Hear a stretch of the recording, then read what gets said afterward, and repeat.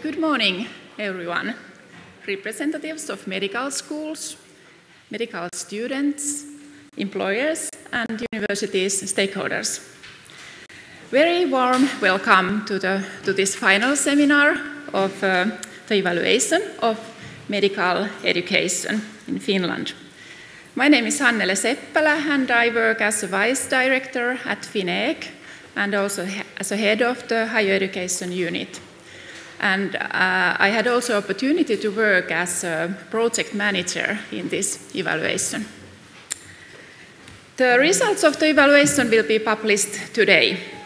The chair of the evaluation team, Professor Marjukka Mäkelä, will present the main results and uh, we'll also hear presentations of the, uh, uh, of the evaluation team members. Uh, after break at 11, 11.30, uh, we will also hear comments from the representatives of all five medical education units. And then we'll have time for discussion too. The Minister of Social Affairs and Health, Pirkko Mattila, will deliver closing remarks at uh, half past 12.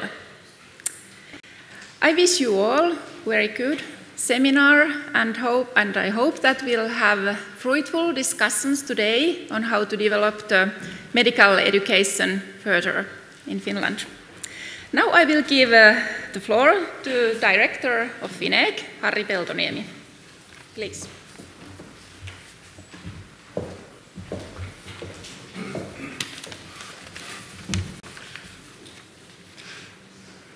So, good morning, ladies and gentlemen, participant, participants of the final seminar of the first national evaluation of uh, undergraduate medical education in Finland, which was uh, carried out by Finnish Education Evaluation Center in uh, 2016 2018. The main uh, aims of evaluation or evaluating the undergraduate medical education were to produce an overall picture and information on the current state, strengths, and challenges of the education. And uh, the other aim was to develop recommendations that uh, reflect the changing competence requirements in a doctor's work and their future operating environment. An additional aim was to identify good practices in the evaluated areas to support development work in units providing medical education. This evaluation is based on the principles of enhancement-led evaluation, which is very important leading principle in uh, FINEEC's activities.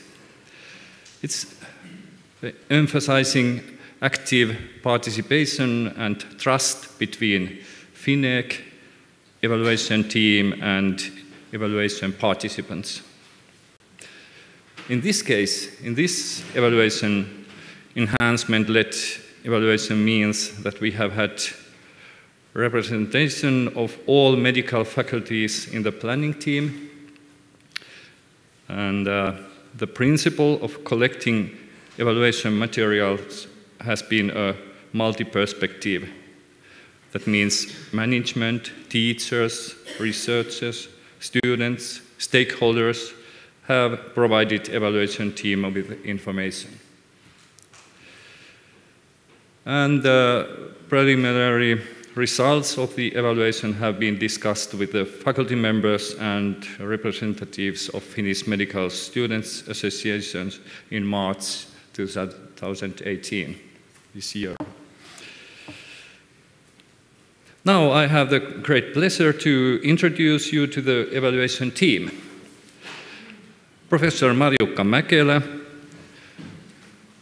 is the chair of the team, and uh, he comes from the National Institute for Health and Welfare in Finland and also University of Copenhagen. Then we have Associate Professor Riitta Möller, University Medical Center Groningen, the Netherlands. No? Oh yes, oh yeah, yeah, yeah. Because now uh, Professor Gerda Croiset comes from medical University Medical Center Groningen, but uh, unfortunately she is not here with us today. I'm sorry. and medical director Ermo Haavisto, Satakunta Hospital District, Finland. and uh, Emeritus Professor Christopher Stephens, University of Southampton. And now I don't mention the country because I'm not really sure. Great Britain, maybe I can say.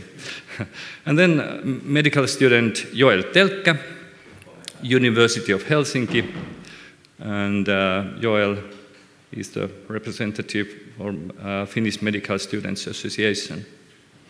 And from FINEEC, Finnish Education Evaluation Center, evaluation counselor Hannele Seppälä.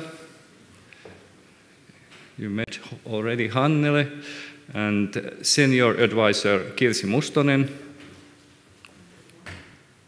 and uh, senior advisor Mira Huusko. And uh,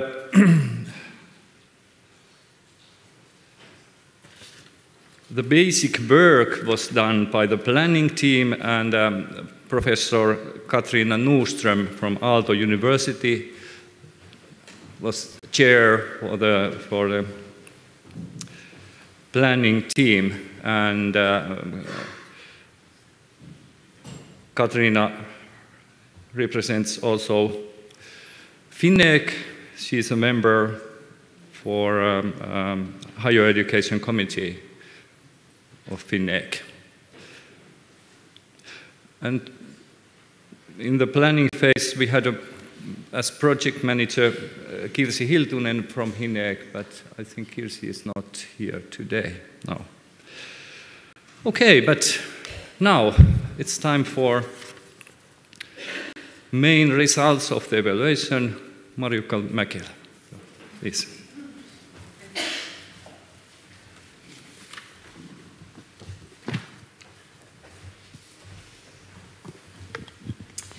Good morning.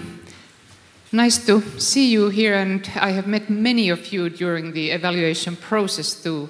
So it's time to tell uh, what the results of our ev ev evaluation are. It has been a very good journey through the Finnish medical education. Um, why have the medical, medical degree programs been evaluated right now? This is the first time ever in Finland. And uh, the um, uh, Ministry of Education suggested the evaluation. The Ministry of uh, Social Affairs and Health was very happy about the idea and there has been good support from, the, uh, from all the organizations that are relevant, Finnish Medical Association, the uh, Medical Students Association. the reason why uh, this starts is that there, are, there have been organizational changes in the universities, but most of all, the major changes in the healthcare system, healthcare environment that we are meeting now. Digital, digitalization, decision support, means uh, large changes in how doctors will be working in the future. Personalized medicine or precision medicine, whatever term you wish to call it, uh, based on genetic information, is already changing uh, how we deal with patients and their diseases.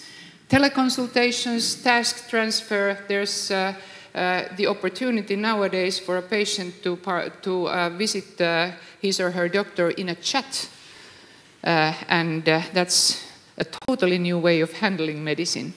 And then task transfer from doctors to nurses, for example, needs good thinking behind it. We have very proactive patients. Patients come with a print from, uh, from Google and to their doctors and say, why am I not treated being treated like this. Doctors need to participate in social media increasingly, and all these skills, all the skills that are needed in this environment, should be given to the doctors when they are in training. Of course, doctors are never ready. It's a lifelong learning in our profession. Uh, but uh, the basic skills that they need uh, should be very clearly given by the university training. And then, last but not least, the upcoming SOTE reform uh, will require that uh, doctors are ready to work in multi-professional groups, lead those multi-professional groups in the new environment. The framework of the evaluation was given, given to us by the uh, Finnish Evaluation Center, Karvi, and uh, they have coordinated this very well, and I really want to thank you publicly for all the support and good thinking and understanding of education that you have provided to the group. Uh, the planning group, uh, as, we, as we heard, has uh, prepared the uh, uh, program for us, and the university representatives have been in the planning group already saying how should we be evaluated. This is an enhancement-led evaluation, like Harri said. Uh, participation and trust are uh, essential parts of it, and, and uh, in the end, the universities are the ones who are going to make the change. So it's self-enhancement they are going to do.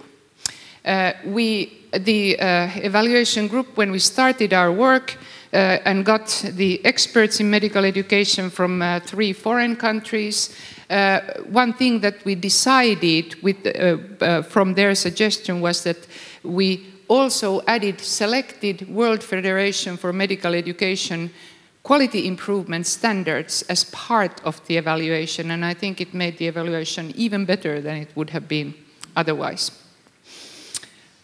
The aims of the evaluation are to describe the current stage, state of medical education in the five universities, to look for the strengths in these programs, good practices, but also to find how much variation there is. Universities are independent units, and they have developed five programs to uh, rather different directions, actually. You could see quite a lot of variation. I think everybody was surprised at how much variation there was. And uh, we have given recommendations, recommendations for development to support the university's own work in how to make teaching even better. And uh, there's a nice uh, song from the Hobbits, The Road Goes Ever On and On. If you go, go look at these slides later, you can hear uh, and remember that it's a never ending story how you improve uh, education and think of the curriculum. The perspectives of evaluation, uh, we uh, have heard four different stakeholders here to get a comprehensive picture. The university administration, medical school administration, medical teachers, medical students, and then the customers of the program, those who get the product from the universities, the newly educated doctors, the working life, whom Ermo has represented very well. And we have had a good dialogue uh, between all these, all these stakeholders and the evaluation team. This is the team that Harri already showed us. And uh, what we have done. First, the universities uh, provided us with summaries of their curricula. And uh, the summaries were not short. When a medical uh, doctor is being trained, there are 5,000 hours of uh, learning over six years. So the description of all that is not short. Uh, the medical schools uh, did self-evaluation, the students did evaluation of the teaching, and then we read other background materials. Thank you to uh, Finnish Medical Association for providing a lot of useful information. And then we did a full day evaluation visit to each school and interviewed these, uh, these four stakeholder groups. That was really interesting. Thank you for very good visits. And then in March we had a seminar to discuss the preliminary findings and, and uh, we uh, then wrote, finalized our report. So what are the results of the evaluation then? There are many areas of strength in Finnish medical education. Uh, all schools are very committed to improving the education. There are quality management processes in place already. Uh, there are, uh, they have identified drivers for changes, what is needed to be done. There are many good education practices to be shared, and from what I heard, the sharing started already during the uh, evaluation and has already made some changes in the programs. National collaboration is increasing. It's, it, it, varies by specialty how much the uh, teachers in, in each medical school are communicating, but they're increasingly sharing materials. Uh, they have made, in some areas, joint analysis of the core learning contents, which is really useful, and they are sharing teaching materials. And as we, as, uh, as we said, there's a very strong student engagement. That's what especially our foreign evaluators said that it's unusual that students are so much involved in planning and evaluating the evaluation, and Medisiinariliitto uh, says yes here, the Finnish Medical Students Association. Uh, another good thing that is not in all European countries present at all is that there are, in all schools, there are clinical placements outside the university hospitals. Students go to health centers, to uh, regional hospitals, to see how it actually works out there. And there are different patients, there are very good clinical teachers out there, fine teachers as role models. That's, uh, that's a uniform feedback from the students. Uh, areas of strength, and these are divided into the four areas that the planning group uh, has uh, given to us to look at. Planning of education and implementation of education here. Uh, all schools actually have a core curriculum content analysis, so they know what is in their curriculum.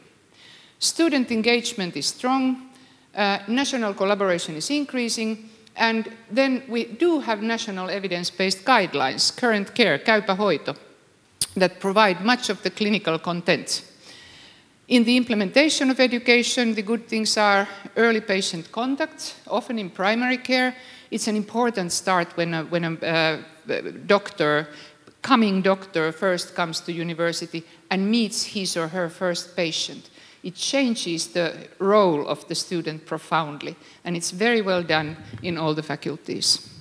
There's a good variety of patient mix because the students have outside clinical placements, excellent collaboration with the outside teaching units. The universities train the teachers out there in the health centers, and then there's uh, a newly started joint digital study environment project for all medical schools, which is important in this digital age. Saves time for, for everybody. The two other areas, of, uh, areas that we evaluated are competencies and working life skills and then continuous development and renewal. And the strengths here are that Finnish universities are good at teaching generic competencies such as communication skills, for example, to the students. They do it very, uh, very thoughtfully. There's good collaboration with primary healthcare, as, as uh, I already said, and there are many good practices of teaching and learning. There's mobile learning in many places. There's self-reflection skills are taught, which is an important meta skill for, for doctors. And many schools do interprofessional collaboration already at the teaching levels. They teach doctors, nurses, social workers, hopefully, in the future anyway, together to deal with complex patient cases. There's a good mix of methods and processes in evaluating and renewing the education. And uh, as I said, there are collaborative groups that are developing national analysis of what should be taught to all students. And um, very active participation in the evaluation has been a strength here. We have felt that, uh, that we have uh, been getting answers and ideas all along the road. The development priorities. And the biggest thing that we have to say today is that there's a, an urgent need to develop a national framework on joint learning outcomes that aims at a core curriculum that is shared nationally and the core curriculum should be taught with increasing complexity from the very early start. It is not enough anymore to have each specialty plan their teaching content. Uh, we need to aim at a constructive alignment in the teaching, and this is the difficult word. I've learned a lot about education in this process.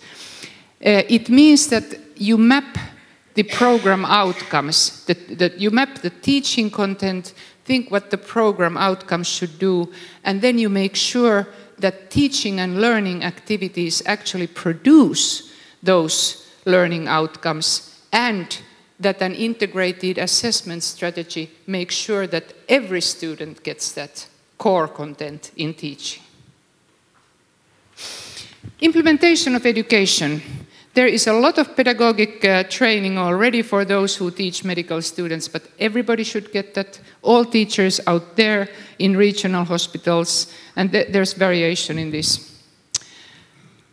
The students need structured feedback that supports their learning, especially when they are in clinical training. How did I do in this patient contact? What was good?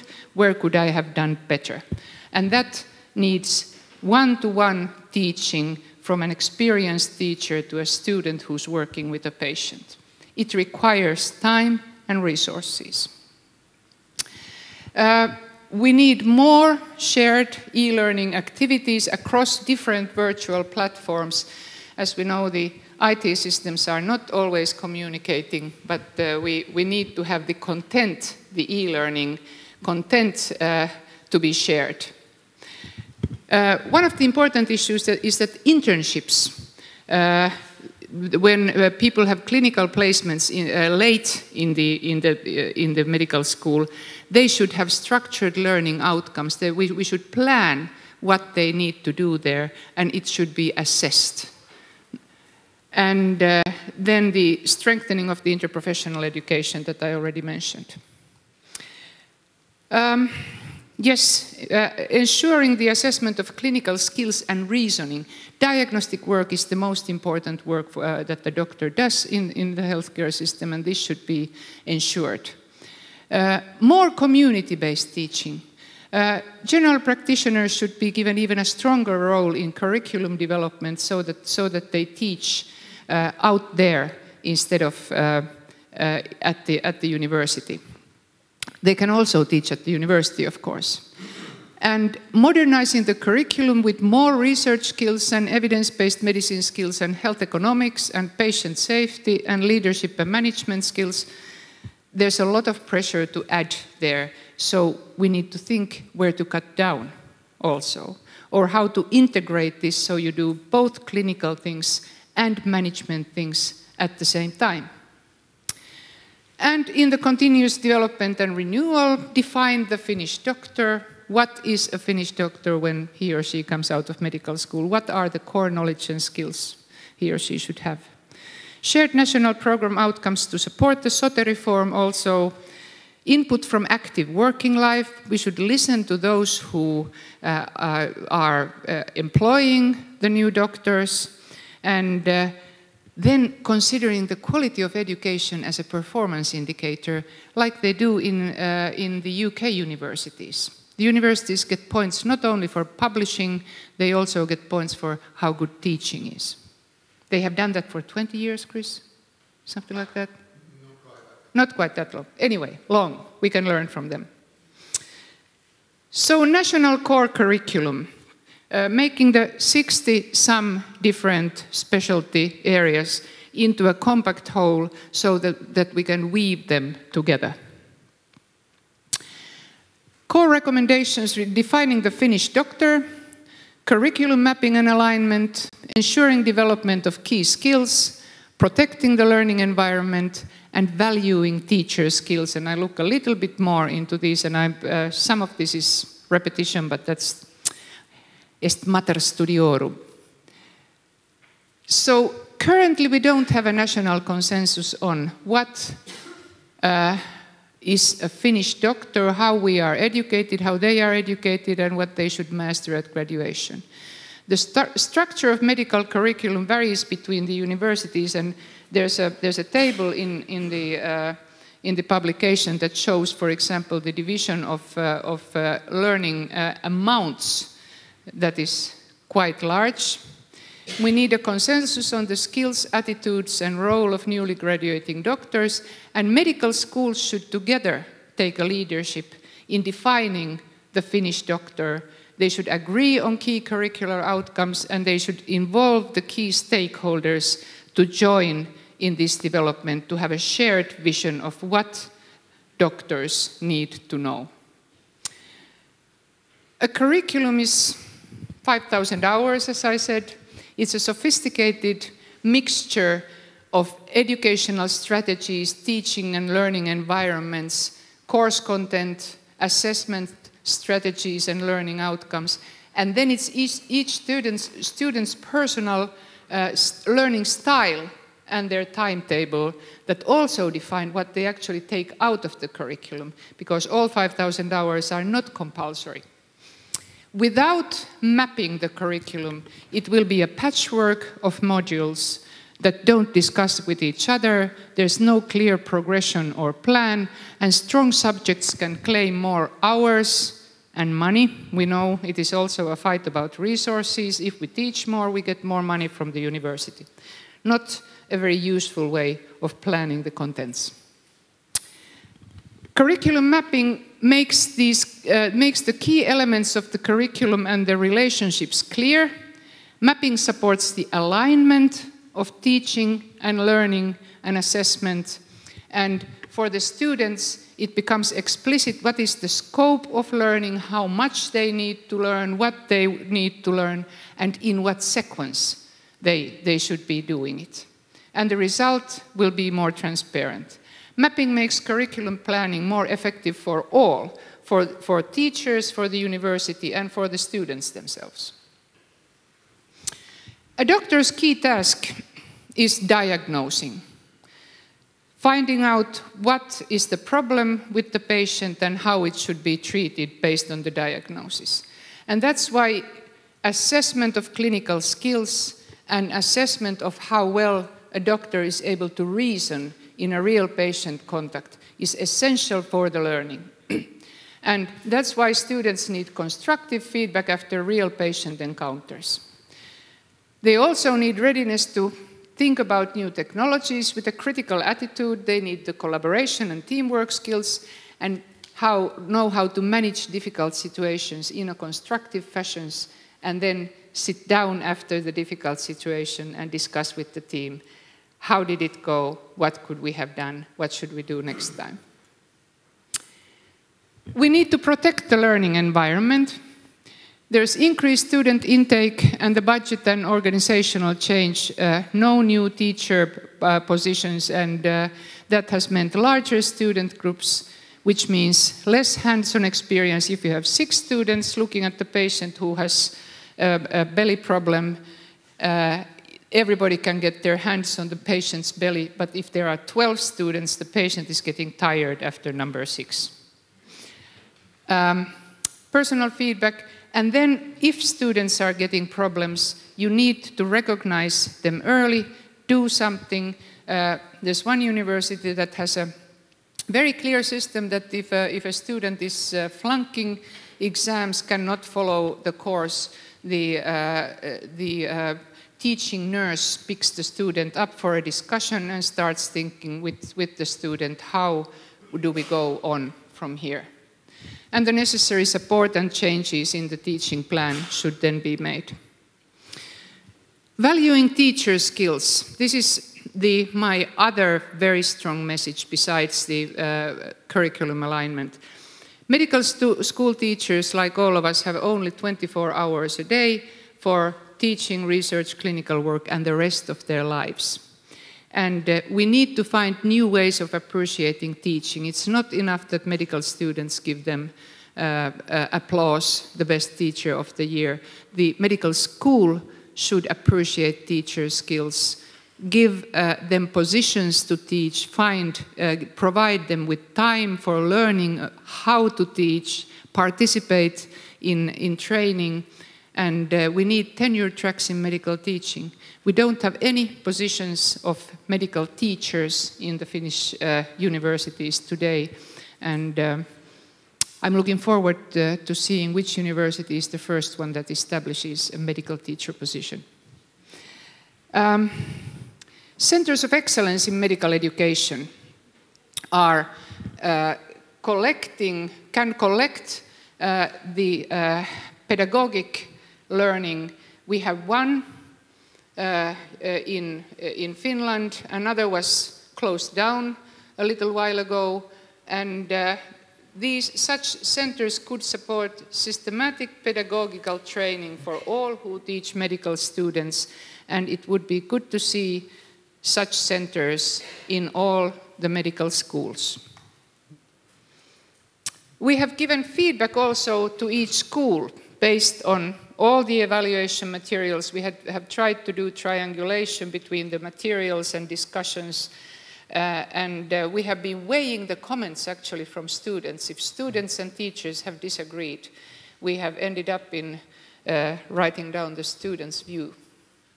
Uh, the uh, final texts in chapter 5 have been reviewed by the individual schools for errors and misunderstandings and, uh, and we decide, we first discussed whether this should be public material and then we decided that, uh, that this is one of the really important outcomes of our evaluation, that each school gets detailed feedback and it is made public. The schools can use it in how, how, to, uh, how to argue for what they need to be a very good medical school. And we really appreciate the time and sincerity and effort from everybody who has been participating in this evaluation. So what is the validity of our evaluation? Like I said, it's 5,000 hours of training over six years times five, and we have not been able to look at every detail in every training program. We hope we, we have uh, seen the forest from the trees. And our task was to ask questions and point out possible methods of responding to the questions, to the problems that the schools themselves have identified. Only each university can actually give a final answer to the questions that arise from the evaluation in their specific context. And like I said, they already have started doing it during this process, which is fantastic. We encourage evidence-based planning, dialogue and openness, which has been a very typical feature in all of this process, uh, good structure, uh, looking at assessment and collaboration between the universities. And when you renew your programs, the major thing is keeping in mind the working life into which the students are being prepared. The universities could also look abroad, explore international examples in medicine, and one of the discussions that we haven't had really is whether medical education really is an exception in the Bologna process, and Chris will talk a little bit more about this in his presentation. Educating doctors for the future. We think, we are certain, that the necessary changes in uh, renewing medical education can be done while protecting the unique flavor of each medical school. They don't need to be exactly the same. They need to have the same core content so that we know what a Finnish medical doctor is. But over and, abo uh, and above that, they can do all kinds of things that are in their profile. And now that the medical students are applying to all the schools at the same time, they probably will be choosing based on what the profile of the school is. So that can actually be made more uh, outstanding, clearer uh, when the core, con core, content has been defined. Uh, collaboration among the faculties is very active and it's very much needed. Each graduate must measurably get the skills to start their work as doctors, continue to specialty training. There are many careers that the doctor can have. You can go into research, management, medical education, health policy, and all of, all of uh, the doctors, uh, independent of which career they choose, they should enjoy the opportunities for lifelong learning. We are never ready in our profession. Ultimately, we think that the changes that we propose will improve the quality of the graduating doctors, increase patient safety, which is one of the things that Ermo has been continuously taking up in this process. And it will result in better medical care in Finland. Thank you, everybody who has participated in this work.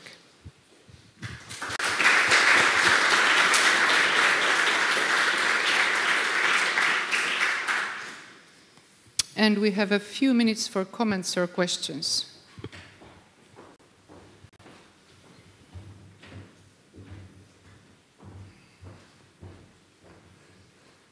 Yes. You suggested quite strongly that we should have medical education. What was it? Um, sorry. Uh, we should have a center of excellence Yes. in medical education. Do you mean uh, that each university should have a center of excellence, or should there be a national center of excellence in medical education? That's a very good question that I think the universities need to talk about with each other. One opportunity is that there is a national center of excellence that has sort of satellites in the different universities. But I think all universities actually need people who are interested in medical pedagogics and, and trained in that to oversee what's happening, what, what changes are happening in the, in the education programs. But it's up to you again.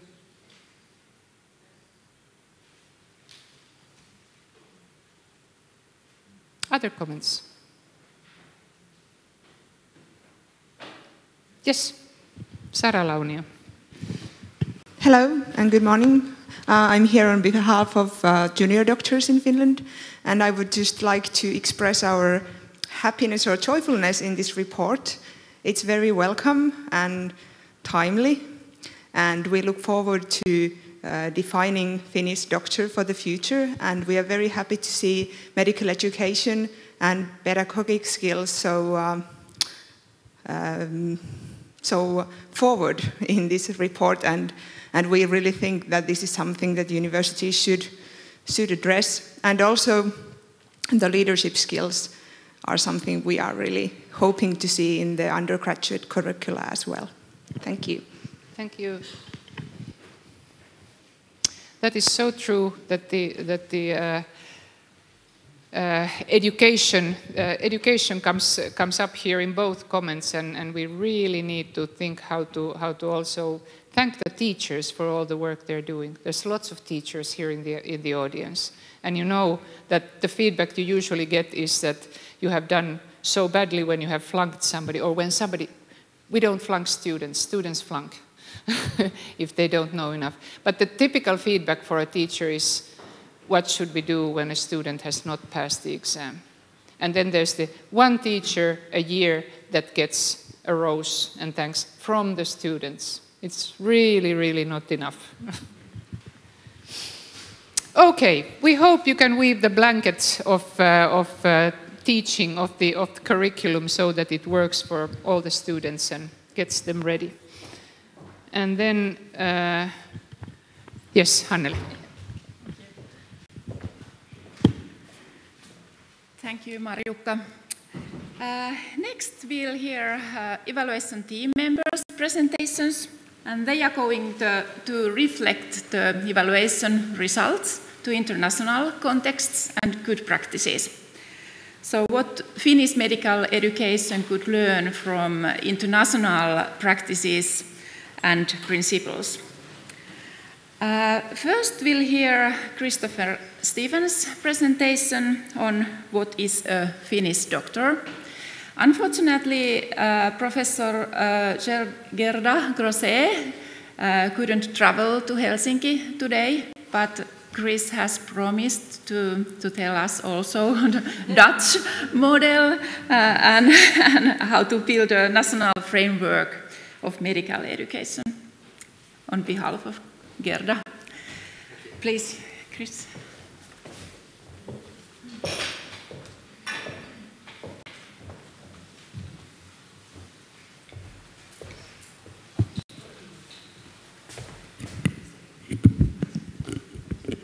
Just adjust this because I'm a bit taller.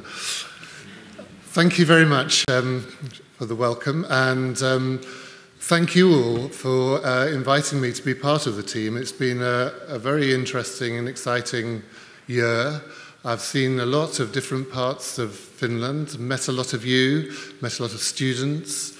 I've experienced the winter and the summer. Uh, and last night we went and had a lovely dinner on one of the islands called. Yeah. Uh, and uh, when we came back about 10 o'clock, it was still bright sunlight. It was amazing. So um, I'm going to talk. Can you hear me okay? At the back? Yes, good. I'm going to talk about what is a Finnish doctor, or more specifically, what is a doctor. Now, I have three daughters, so they're all grown up, but uh, so I'm kind of an expert on Barbie, so I'm looking forward to the Barbie uh, exhibition after this. I also know a bit about Sindy as well.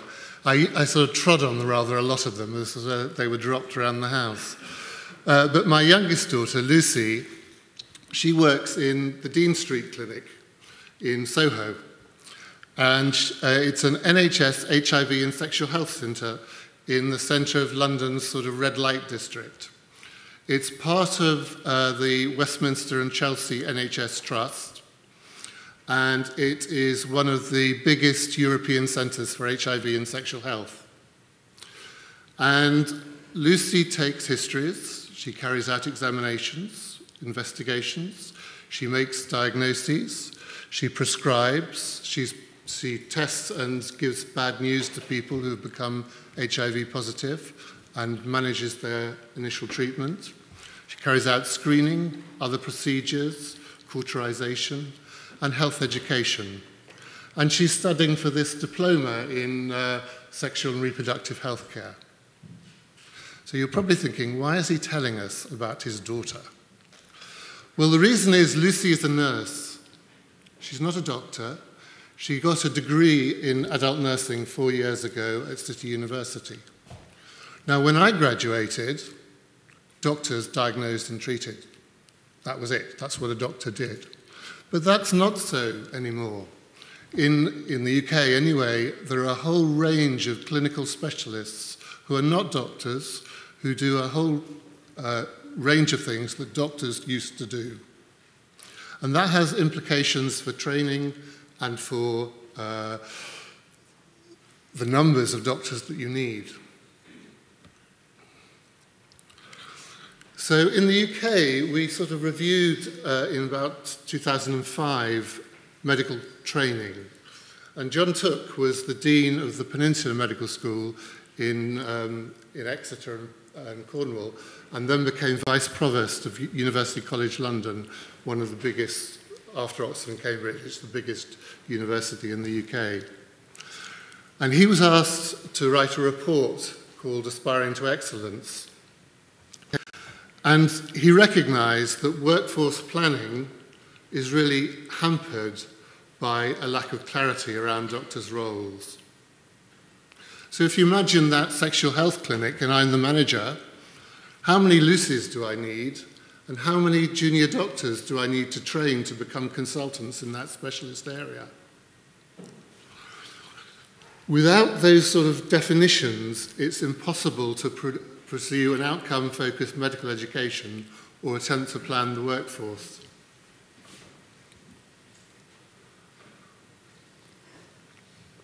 So John wrote, he tried to sort of clarify what is a doctor.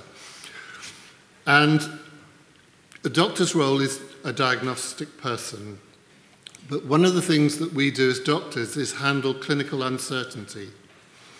And to do that, we need this profound educational base in science, evidence-based practice and research.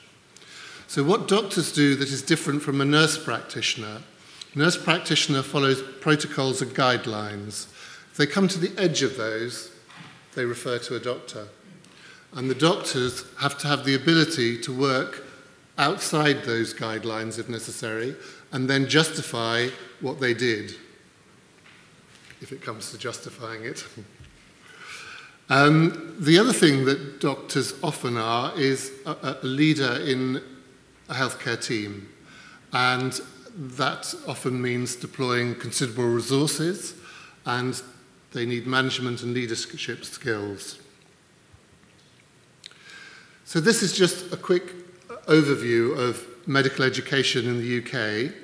Uh, four, five, and six year undergraduate training. Four year uh, programs are for graduates. We have a number of graduate programs where people who have a degree, not necessarily a science degree, it can be a degree in humanities, uh, will come in and do a four year program. The standard five year program, and then there are some six year programs which are usually around widening participation.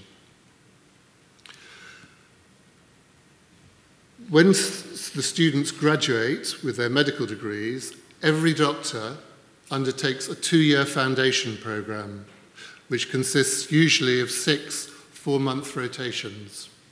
That's before they go into any specialist training, before they do anything else. So every doctor gets this foundation, and one of those rotations is in the community, either in general practice or in psychiatry, of a very broad experience and then they go on to their general practice or other specialty training. And the regulation of this is covered by the General Medical Council. So the General Medical Council, as I'll explain a bit later, actually allows university to award medical degrees. And they can take it away as well. So there are a number of curriculum frameworks, and you're probably familiar with a whole lot of them. This is the tuning project, the EU, that we all signed up to, uh, and most of us don't carry out. This is the Scottish Doctor that some of you are familiar with. Uh, the CanMEDS program, which again is another criteria, but the one I'm going to talk about is the United Kingdom's GMC's Tomorrow Doc Tomorrow's Doctors. And in 25 years ago, in 1993, the General Medical Council published the first Tomorrow's Doctors. And I think this is very similar to what we have in Finland now. They recognized that medical schools were actually producing slightly different products.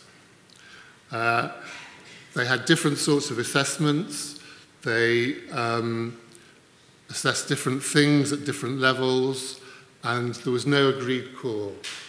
And Tomorrow's Doctors has been updated and revised over a number of years.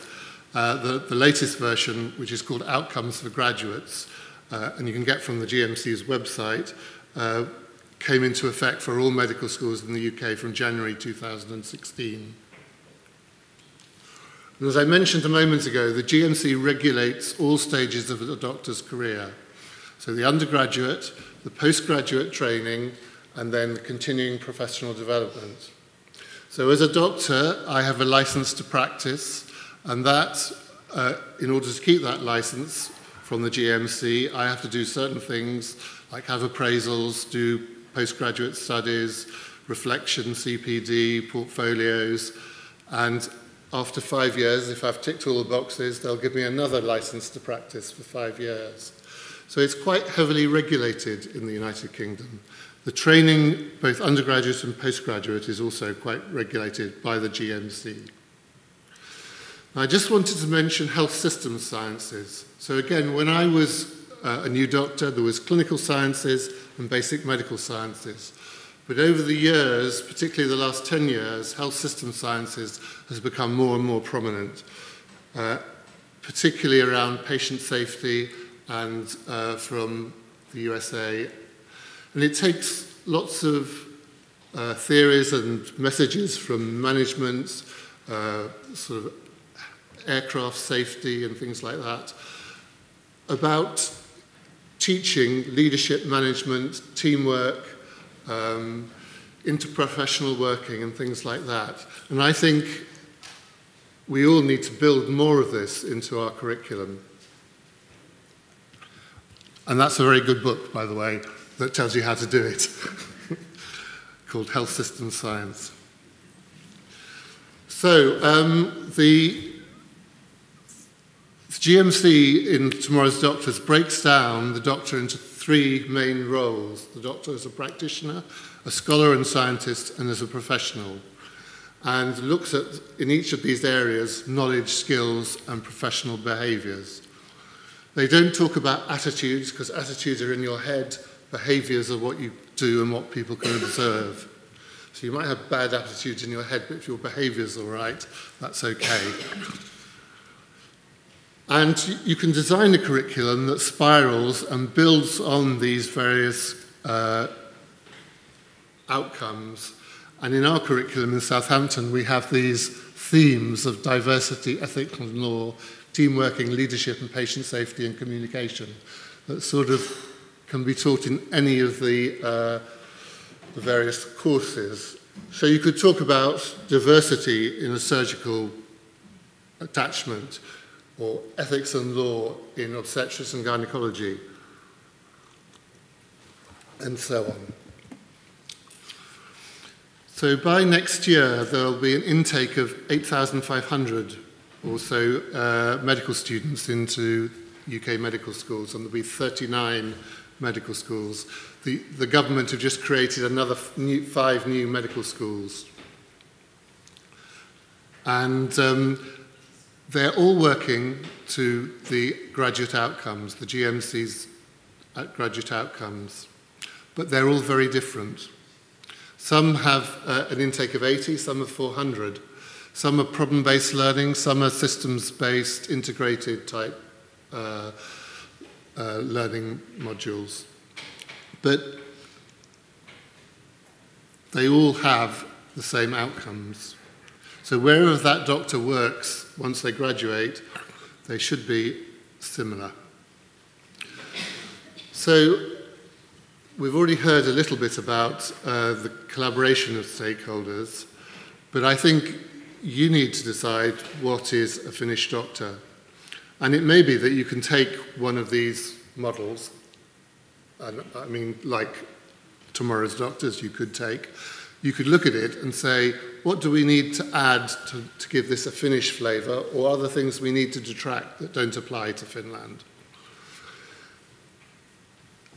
And then from that, you could um, develop a, a shared national curriculum of outcomes and then work together to show that the outcomes are achieved.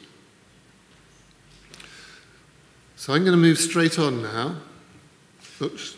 No, the lady up there is going to move me on, I think, to uh, Gerda's presentation. So if, if you go on to the next presentation. So unfortunately, Gerda's mother became very ill, and so she sent her, her uh, talk.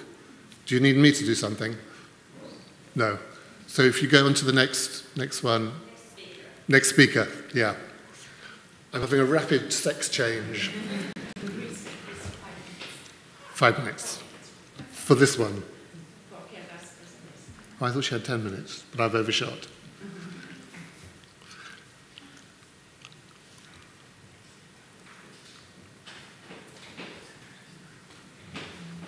It's this one.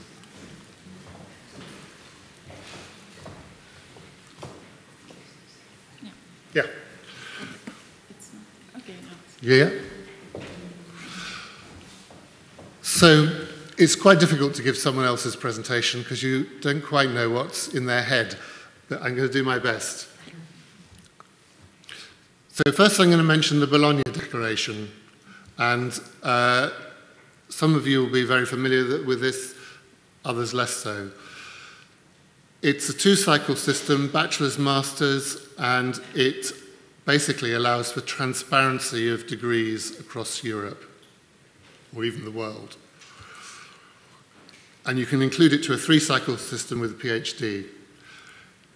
It produces these things, and actually, I think seven out of the eight are provided by a medical program already. The one thing that isn't provided is mobility. It's very hard for students after a couple of years or three years to say, I want to go from Oulu to Helsinki or from Helsinki to Tampere or the same in the UK. It's almost impossible. Um, but the, the cut of having a, a three years bachelor's, then a three years master's allows you to do that. they looked at medicine and the, and the, the um, process, and uh, quite a large number of medical schools and countries said, we don't want to do the Bologna Agreement. So 46 said no, 27 said yes, and 27% said maybe. Now, Finland, I think, said no, the UK said no, but the Netherlands said yes. The Netherlands is a little country just off the south coast of England. that wasn't in the talk. It has, uh, it has eight medical schools, uh, and um, it's a small country, and, and basically you get to Amsterdam and you either drive south and you're in Belgium and France, or, or the, to the east and you're in Germany. But the, they produced a blueprint for all those eight medical schools uh, to define the sort of the Dutch doctor. And they used the CanMEDS program, Proforma, which has these sort of competencies, which are kind of fairly standard and similar to all the others. Uh, but they use the CanMEDS. And they produced a sort of program like this. So three years bachelor, three years master, with a research project with clinical aspects in both. And they also moved from sort of lecture-based uh, approach to more uh, problem-based small group approach. This is across all the eight medical schools.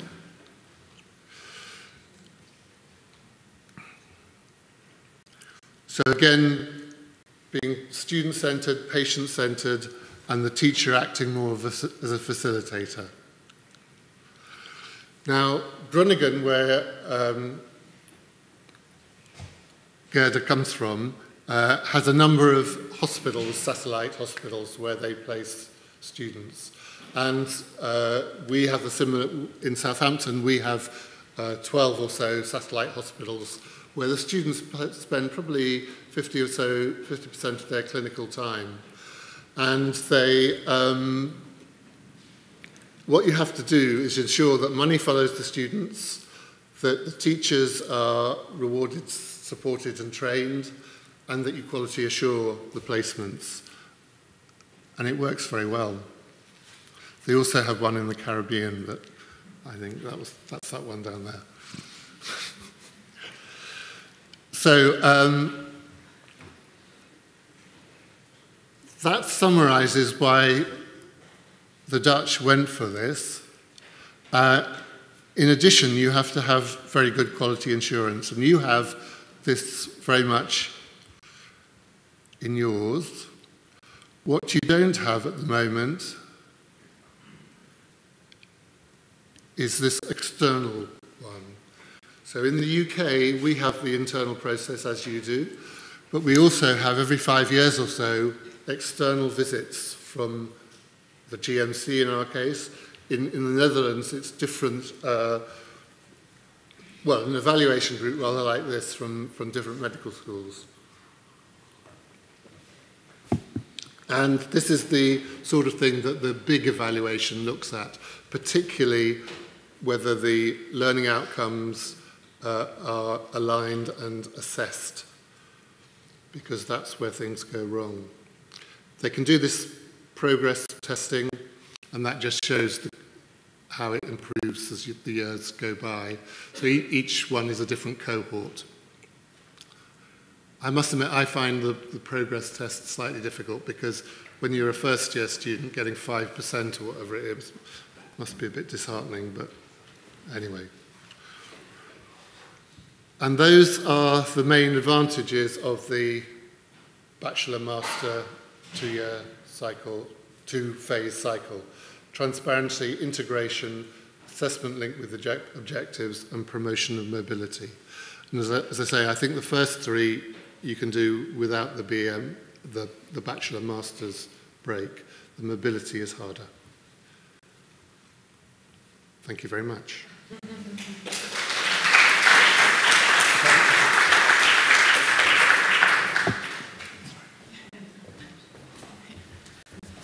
you, Chris, and I'm very sorry to, to hurry up. yeah, thank you. Uh, next, uh, uh, senior lecturer Riitta Möller will tell us about the principles of assessment and uh, alignment in teaching, learning, and assessment. Please.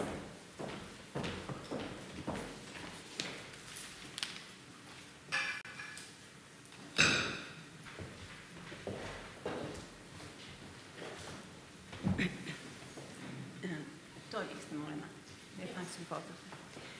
Hyvää huomenta. Very good morning. These functions, yeah.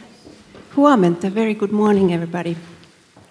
My topic today comprises principles of assessment, but in fact it should be some principles of assessment because of the time limits we have today.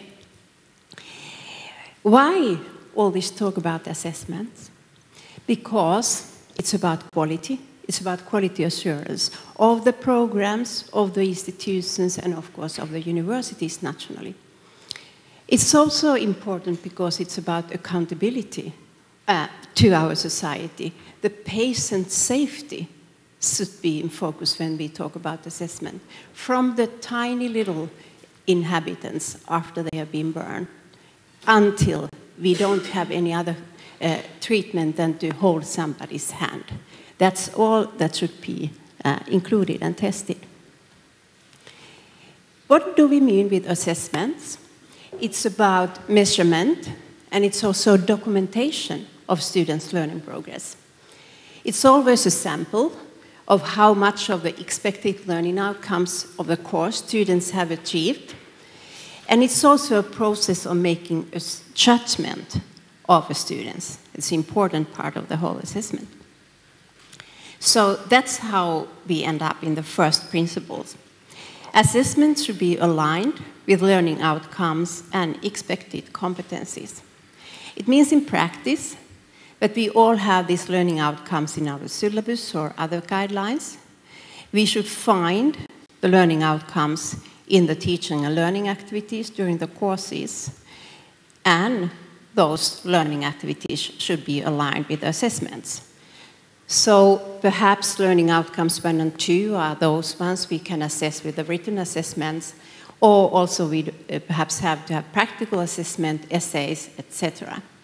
But that's not the whole circle. Of course, the learning outcomes have to be checked uh, against the assessment system, and the assessment system should have an impact on what's in their courses. Perhaps we have to review the teaching and learning activities, or we have to review uh, the learning outcomes. So, before you construct your assessment, define the learning outcomes and competencies uh, that are tested so that there is a consistency between the assessment and the outcomes. As you see, my lecture is very back to earth because I want it to it be a very practical one so you can get something with you. The purpose of assessments, there are lots of those. I have only taken uh, in my presentation two of those. Summative assessments, everybody knows it's about assessment of learning. They are usually at the end of the course and they determine the student's achievement of the learning outcomes and usually recorded as grades or scores.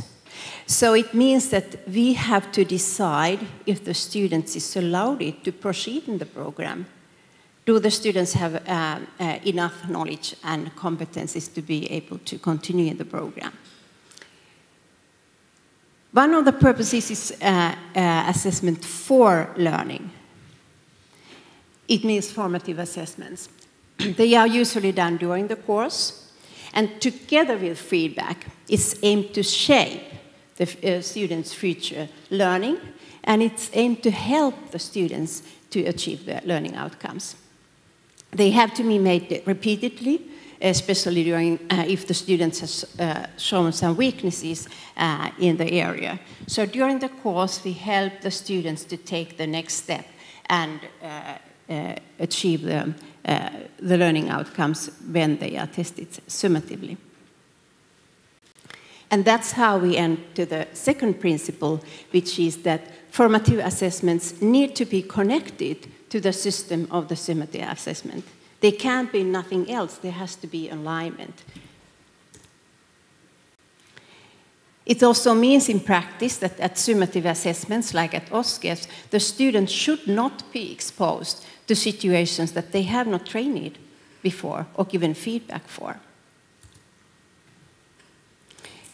Once again, you have heard this this morning already, the learning of the clinical skills and reasoning is a very central part of the medical program. And as we know that uh, feedback uh, promotes development, it's necessary to build a system of formative assessments with feedback in the programs. We just can't do the summative OSCEs without students being able to train and give feedback. And that's how the assessments can help students to learn.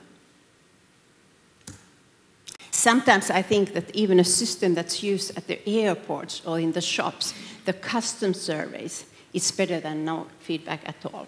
Just give the students some kind of hint of how they are doing. Then, how, how we are going to assess the students? It, of course, depends on the learning outcomes. It depends what is going to be tested, if it's knowledge, knowledge if it's skills or attitudes. I think most of you know this Miller's pyramid. It's about how we uh, classify the learning outcomes. Knows, knows how, shows, and does. What we found out in the evaluation was that most universities had written summative examinations at the end of the course. And that's totally right. The knowledge base in, in medicine is huge. We have to have these written assessments specifically if we have learning outcomes about know or know how. But if they write in the guidelines and the syllabus that students has to sure or I mean do something, uh, take blood pressure, then we should have different kind of examination. It should be OSCE or simulation. If it is like in vitro real life situation, or if the learning outcomes are even at higher level, we should uh, consider workplace assessment of DOPS, direct observations. So the third principle is we need a variety of assessment times, types to assess the different kind of learning outcomes we have. So you can see the direct connection between learning outcomes and the different assessment systems. Number four, we need criteria. The criteria for assessment should be detailed, and students should know those in beforehand. Students, supervisors in the clinics, teachers. So students need to understand clearly what is expected of them when they are assessed. A curriculum at all programs and also in medical programs, they consist of, a variety of courses these houses here, they look quite the same, but they are all a little bit different. And that's how curriculum is um, constructed. That's what we found in several uh, uh, medical programs. There are lots of courses, up to 60 courses in one, some. Uh, if all the courses construct their own assessments, this is how it's going to look like. And this is what students see. They are all different kind of traffic signs. They are all different kind of rules in different courses. And the, it's really messy reality for the students. And it also leads to fragmentation of the curriculum. There has to be some teachers who put the dots together so that students can see a, a road um, forward. So that's our principle number five. We have, we have to have an assessment system, and we have to create it simultaneously when we create the learning outcomes. Some kind of system uh, that's based on evidence uh, from the literature, uh, and it's a standardized system. And I tried to uh, create one for you. Um, one possibility would be have an examination committee with the overall res responsibility, like for, for printing or analyzing the results for curriculum development. Uh, I think most of the universities have what we call study year leaders with their committees. They could have the responsibility for blueprinting and allocating the items. Item, items mean questions. And finalizing the assessment. And then we need the course leaders and the teachers writing the questions, the items, based on the learning outcomes. And uh, people and teachers are afraid in that kind of system that they will lose their autonomy. But this is not about the autonomy. This is just to share the knowledge the teachers have and make it easier for students.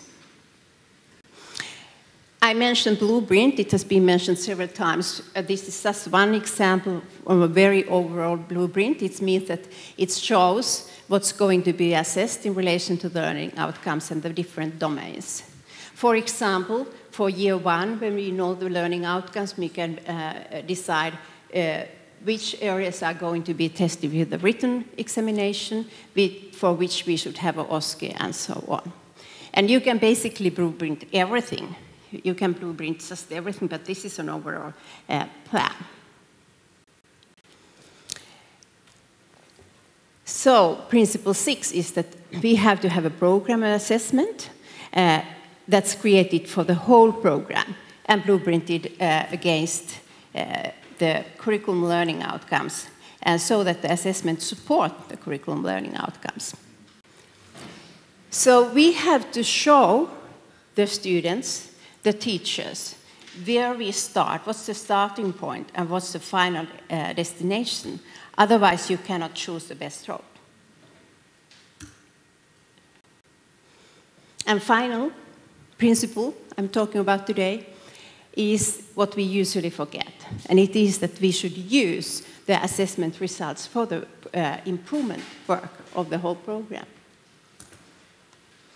We should share the results with students, with teachers, the committees.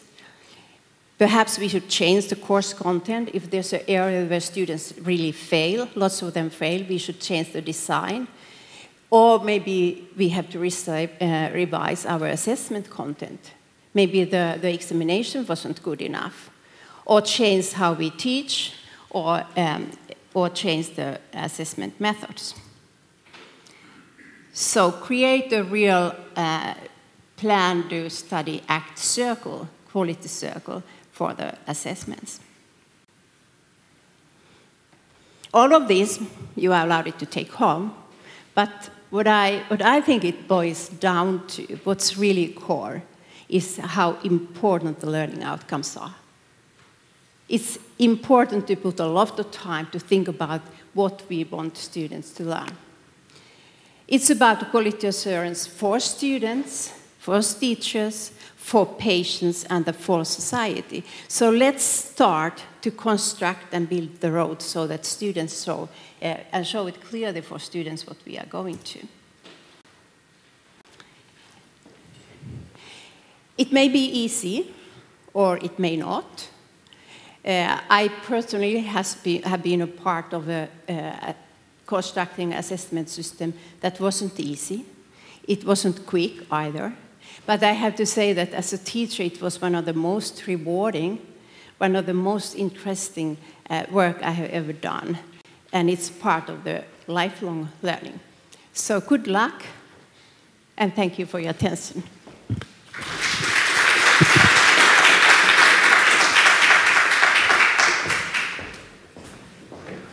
Thank you, Riitta. Uh, next, we'll have students representative Joel Telkkä and employers representative Ermo Haavisto. And they will comment the renewal uh, needs of uh, medical education. Yes, thank you. Uh, so, from medical students' perspective, we have things going on pretty fine. Education is free, Kela sponsors your studies, it's safe out there, and the weather is nice, for now at least. Uh, predicting, if something can be said about predicting future, is that it's uncertain. Uh, we don't know if we have a social uh, and healthcare reform in autumn, whether our government will break up before that, or if medical students can work as doctors during summer leaves in the future. As AI uh, is soon in every device and service, and the amount of accumulation, accumulation information has far surpassed the capabilities of human mind, we should move focus more on the practical side of the profession. Of course, we need the basic theoretical understanding of human body and its functions, but as the evaluation has shown, we do that already in every university. To train the practical clinical procedures and tricks, we need supervision. With supervision should come feedback, which is essential to make students feel and be capable. Most of the students get to practice many practical skills during studies, but it's sadly uncommon to get feedback that, hey, now you can do wrist repositions on your own. We should move from the see one, do one, teach one mentality to um, practice, repeat, and get an assessment. Depending on that assessment, you may practice more. Uh, to practice clinical skills, we need proper facilities. The simulation laboratories and their staff are important asset uh, in the toolbox of training a doctor. If we could also fill the simulation labs with other future professionals of healthcare system, we could produce even more competent future professionals. Uh, it should not be worried that medical school would turn into a vocational school. It's still in the law that a licentiate degree is a university degree. As much as we need vertical integration with students and professionals of other healthcare professions, we need horizontal integration. It is stated that health tech is the most promising future export uh, product or service for Finland. Where are all the doctors building new Nokias and Kones? Uh, our, our, studies are often done on campuses close to the university clinics, where there are no at least visible eng engineers, humanists, economists, or lawyers. Innovation nor change do not appear in vacuums.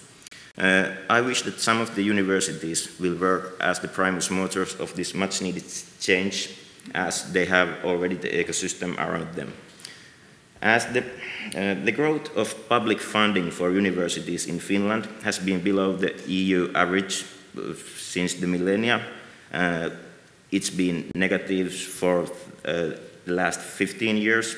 We have now less, uh, uh, it seems hard to do better with less money and more students. But universities have somehow survived the last cut to the budget. Because of the economic constraints, we should cooperate more. In the business uh, and industry side of life, you get savings from scalability. I believe that national curriculum, tests, learning platforms, and other innovations will be part of the, of the tools to do more with less. Students' well-being is a common affair of the heart for many student representatives and faculty staff. That's important, but we need also to take some actions for the people who teach us Currently, most teachers do clinical work, research, uh, and teaching simultaneously. Some of them even have families and hobbies, I have heard, not seen. Choosing to teach as a career can be rewarding, but it's really demanding. I wish that one day our teachers' work is respected in practice as much as in speeches. Finland has been an ace in the statistics published by OECD. We were sixth in the global, global burden disease report measuring performance on the healthcare access and quality published two weeks ago uh, on Lancet. We should aim to produce best possible doctors with the best current evidence-based teaching methods and maybe one day our med schools are nominate, nominated among the best ones. Thank you.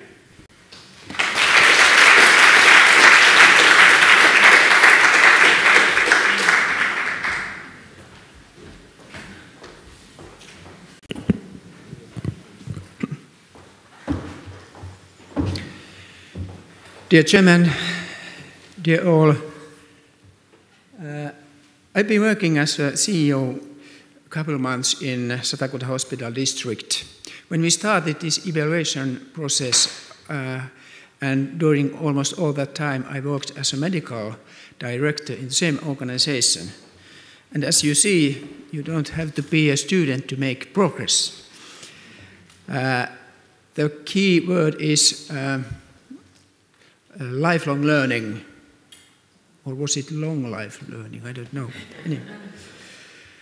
Um, about my role in this team, uh, it was to represent working life and I, also try to represent patient and population. And from that point of view, I think we must go to very deep in uh, basic issues when we think about the basis for the social and healthcare services, the basis for the existence of the whole system. And when we come to the constitution of Finland, the great constitution of Finland, which uh, guarantees certain basic rights for every citizen. And all, I take only two examples. Section 6, equality, which means that uh, every citizen should have adequate social and health and medical services uh, in good quality, and it should, shouldn't be dependent on, for example, where she or he is living, in what part of country. And of course, section uh, 19, which deals with the right to social security, the public authorities shall guarantee for everyone, as provided in more detail by an act, adequate social, health, and medical services, and promote the health of population.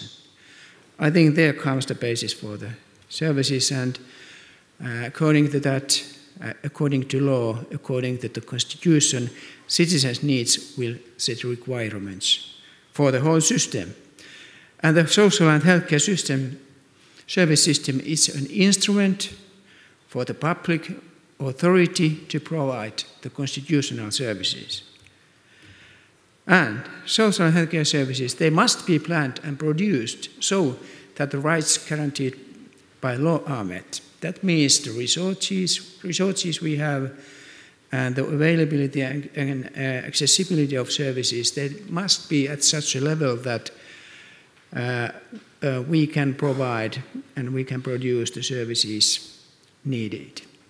And of course, the knowledge and uh, skills of the professionals working in that uh, system, also doctors, they must be at such a level that uh, the constitutional rights are met. I think that is the frame, the framework in which we should evaluate the um, education of all professionals, also doctors. And then what about the needs for the future, renewal needs, and um, the need to develop and uh, improve the quality of education. Uh, from the point of working life, of course, we come to the great, the greatest uh, social and healthcare reform ever, ever in Finland, ever in the world, maybe. And some key points, as key features in that reform, which I want to emphasize strong integration of services. That is one of the main goals of the whole reform.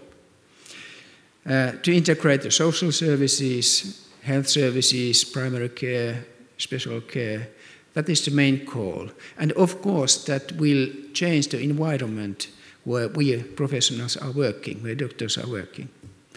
The role of a patient will change. It will be much stronger than at the moment. And the relation between relationship between uh, doctor and patient that will also change. The doctor will be more like a partner uh, or more like a coach for the patient because patient is in main response for his or her, her health and treatment of sicknesses. Also, uh, due to the integration we are more and more working as a member of a team. We are not working alone, we are a member of a team, and uh, additionally, usually a doctor is a leader of the team. We put great uh, expectations on digitalization, and for reason. We know that there is a great chance to improve the efficiency, uh, the quality, and also safety of the services. And, but we must know how to use digital tools to get these, to, to achieve these goals. And the principle, patient first, we must accept it, we must adopt it.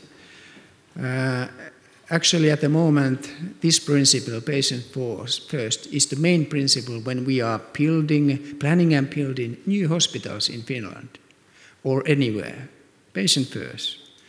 And finally, we come to the basic thing. Uh, doctors, they are studying, they are training, they are working, they are for the patient at the moment and also and especially in future. Thank you.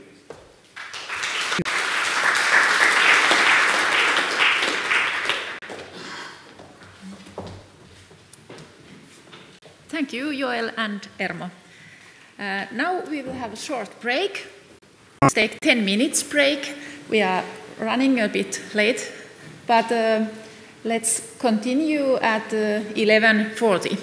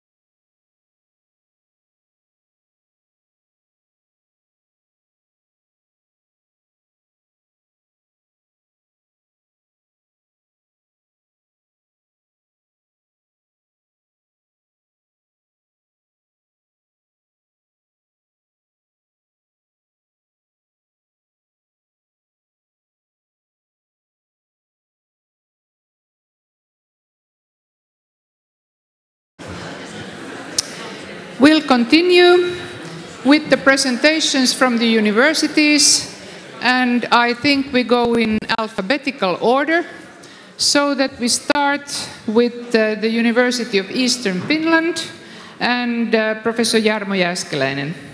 Please.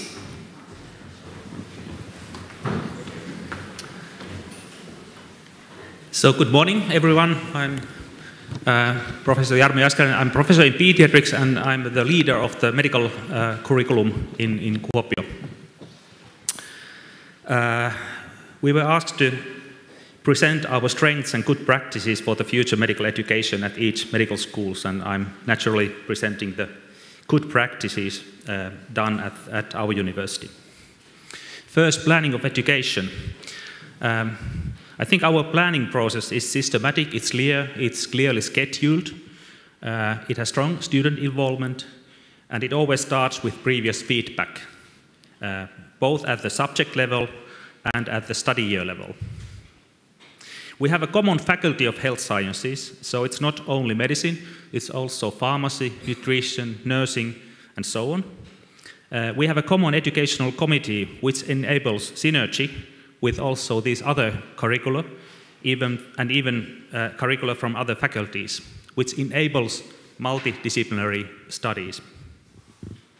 We have nowadays detailed core content analysis in most subjects, and in some subjects it's a common uh, uh, analysis uh, with, with other medical schools. Then implementation of education. Uh, at the new curriculum and at the preclinical phase, we have now integrated organ system-based um, uh, curriculum. This means that we don't teach physiology, anatomy, and so on separately. We teach them all together in a special classroom which enables team learning and close interaction with students themselves and with students and teachers. During clinical phase, we have mostly case or problem-based learning, um, which uh, enables uh, kind of uh, learning of good practices. We perform our clinical studies at several partner hospitals and health centers, so the whole healthcare network, uh, which enables uh, learning at different environments and, and students learn different ways of doing. There's not just one way to do things, there may be different good ways to do things. And in our own opinion, we have good support for modern teaching technology. We have Oppari for students, we have Oppitupa for teachers, and, and it works well. It has, has worked well for several years. Um, we have teaching nurses uh, they have a clinical background and they work as coordinators during clinical studies. They are invaluable support for both teachers and students. Most of our teachers nowadays have pedagogical training and those who don't have it will get it. We share good practices regularly. We have this key teachers system. Uh, it's a small number of teachers who, who meet regularly and they uh, take care of faculty development.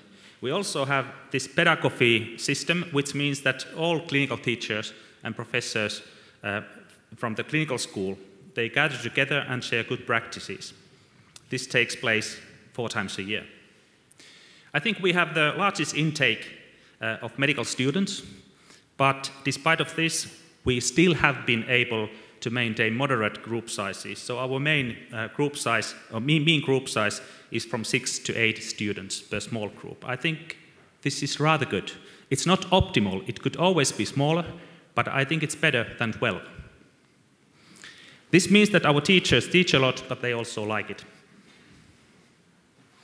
Then competence and working life skills. Uh, I think there's a long tradition in Kuopio that we focus on good clinical skills. Uh, this means like resuscitation, acute cardiology surgery. Uh, it's also tested how, how the clinical skills uh, are obtained in these subjects. Uh, there are some clinical skill exams. We don't have yearly OSCE, which is not a good thing, but we have these kind of clinical skill exams in certain subjects.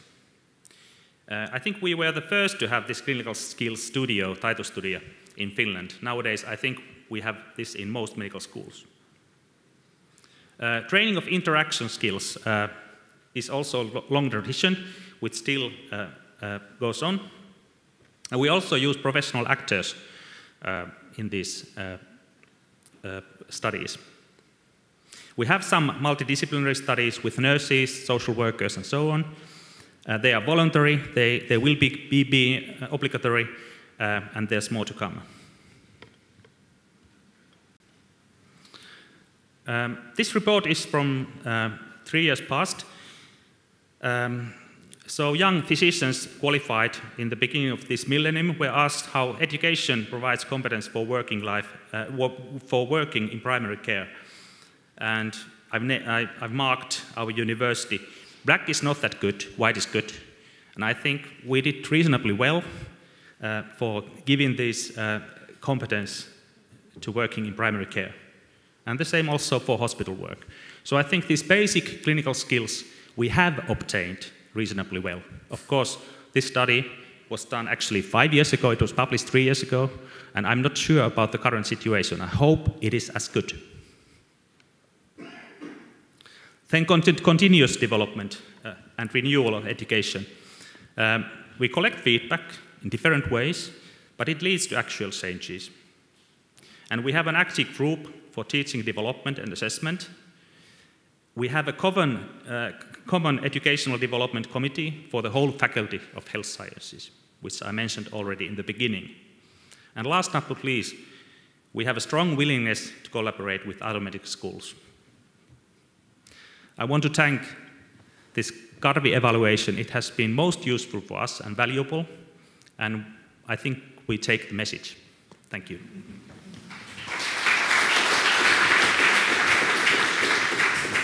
Thank you very much. And uh, uh, the next uh, speaker is clinical teacher Jussi Merenmies from the University of Helsinki. Uh, thank you, uh, the organizers, and thank you for sharing our uh, good practices. I'm a, a, program director of the medical degree in, here in Helsinki. Um, when I was listening Jarmo, I thought that, well, most of the, those, what, what, what he showed, I think we can, we can share and we can sign those as well, our good practices. I think we have a lot of common good practices in our universities. And that's why I thought that I could probably focus on a couple of things that we do a little bit differently. I think so. I'm not sure, I think so.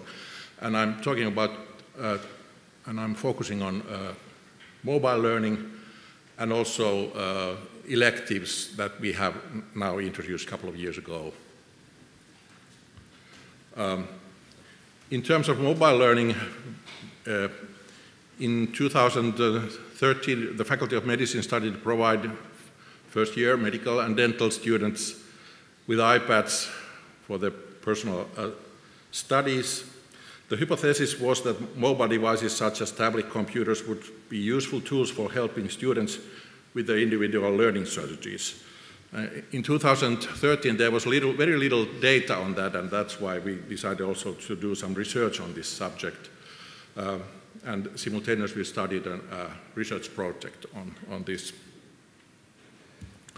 Uh, here, just I show you some, uh, some uh, points to this uh, short time period, I, I can't go in, in, any further uh, deeper. Um, these are the uh, most important, important things the students do with their mobile devices. The most important is note taking. What they also do, they do annotations and their own notes. They combine their own notes there. The second is information seeking from the web, mostly and then they download digital material like videos and uh, uh, uh text from uh, internet and use their uh, tablets for learning. They look those, for, for, instance, videos from those devices. here are just a couple of samples how the digital material looks in, in their um, um, tablet computers. On the right-hand side, there's just one page of the uh, uh, electronic teaching material that one of our teachers have uh, prepared for the students. And on the left-hand side, there's a, a, copy of a, uh, of a note page of one, one student where she has made a lot of uh, uh, extra um, highlighting and, and um, annotations and uh, to, for, for, for her to learn better. when we, if we could put together all the observations, or some of them, we can say that uh, in, in terms of uh, digital mobile learning, students want all learning materials in a mobile device compatible digital format. And that's what we have tried to do very carefully. It's crucial that students to learn, they, they use to know, to note-taking application, they use the, those applications and can annotate their, uh, those uh, uh, texts and material uh, visuality of learning material is highly valued among students. And students share information together collaboratively in social media and in cloud-based services. And this was something new that we didn't know that really happened before. Uh, I think everyone pretty much had their own materials, but now it's, it's much more shared in, in uh, social media. Um, in, in terms of clinical uh, years, we noticed that there was a notable drop in mobile device use in teaching and learning activities in the beginning of clinical studies. That was kind of a surprise. Uh, uh, actually, some teachers actually prohibited uh, uh using uh, these devices in their teaching sessions for some reasons. and there, are, there were a lot of different kind of attitudes against and some, of course, for the, using these digital um, devices. But uh, bit by bit, these uh, uh, attitudes have been, been changing. And then something about the electives. Uh,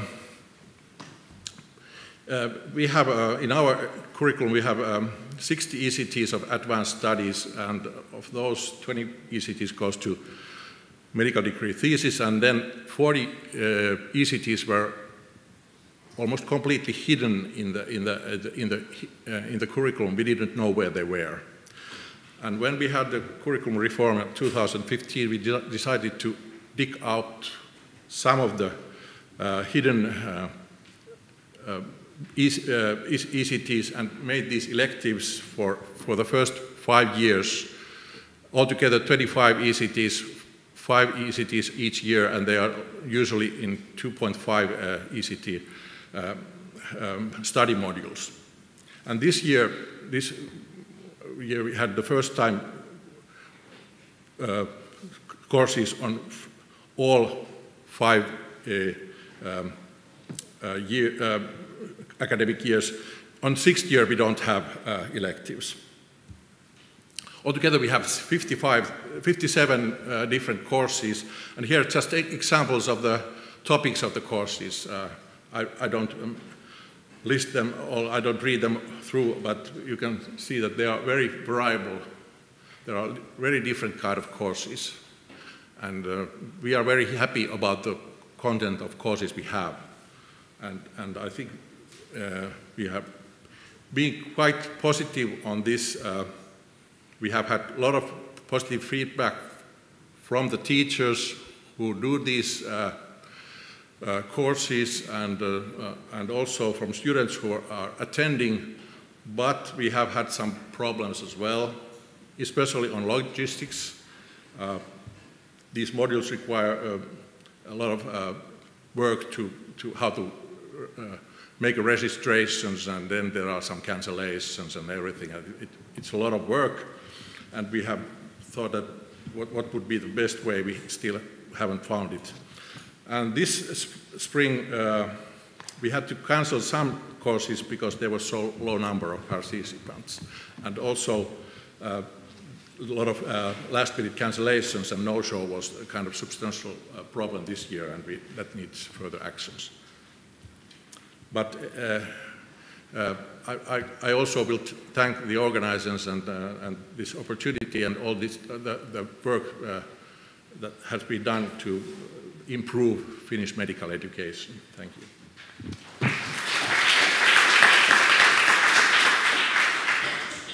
Thank you, Jussi. Interesting stories about what is being done. And the next one is uh, Petri Kulmala from Oulu.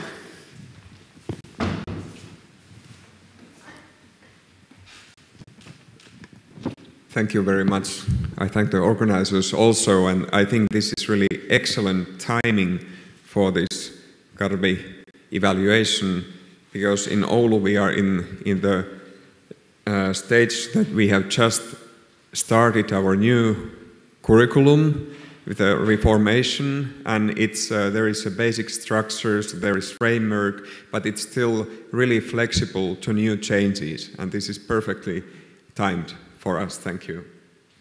So, uh, let's try this one. Does it work? Uh, so, there, is, there has been already continuous development as we had the 2011 the last reform and now as I told it has started the first year is completed and they start on the second year but, but clinical part is still uh, pretty much in the process of getting new learning methods and activated learning methods there. So on planning of education, our strength, I think, has been that we all the time have had and have more and more interprofessional planning in there, especially we have long and uh, really strong collaboration with Oulu University of Applied Sciences and then also primary care health professionals. Uh, we involve student, students in every level of planning of education. Um, we have and will all the time develop the feedback options as including immediate course specific academic year specific and curriculum specific feedback and and this year already it's uh, it was it's it has changed a lot uh, somehow also related to this, uh, your evaluation, so that gave us already a lot of good directions. So then I think what is really good in planning of education, I think that atmosphere and attitudes have been changing already maybe five years or so. So people are more interested and evaluate or evaluate more, give more value to teaching also, and student welfare, teacher welfare. And that's really good to notice. So then about the implementation of education, what good practices we have. So based on student feedback, uh, as I told, the uh, atmosphere has changed and also this is reflected in feedback that motivated teachers, we have really motivated and good teachers, most of the teachers are motivated, but they struggle with the timing of their work as we have heard from the report also. So, and also amongst the students, they feel that they have a good atmosphere for studying medicine in Oulu. So we have a unified campus area that's re really good, good for us. And uh, also we are, we have been using these activated learning methods as others too, but more and more there is some people, there are some people who said we just should keep the lectures and traditional uh, tests after the course, but still we, we are fighting against that and we, we are trying to get these uh, people more interested in really developing their learning methods. One that was also picked up as, from the team that uh, we recognize doctor as a human being, and this is also the area we can make more progress in future too, to think that we are also human beings and we should meet the patient as a human being, not just as a doctor. So that's one really important aspect.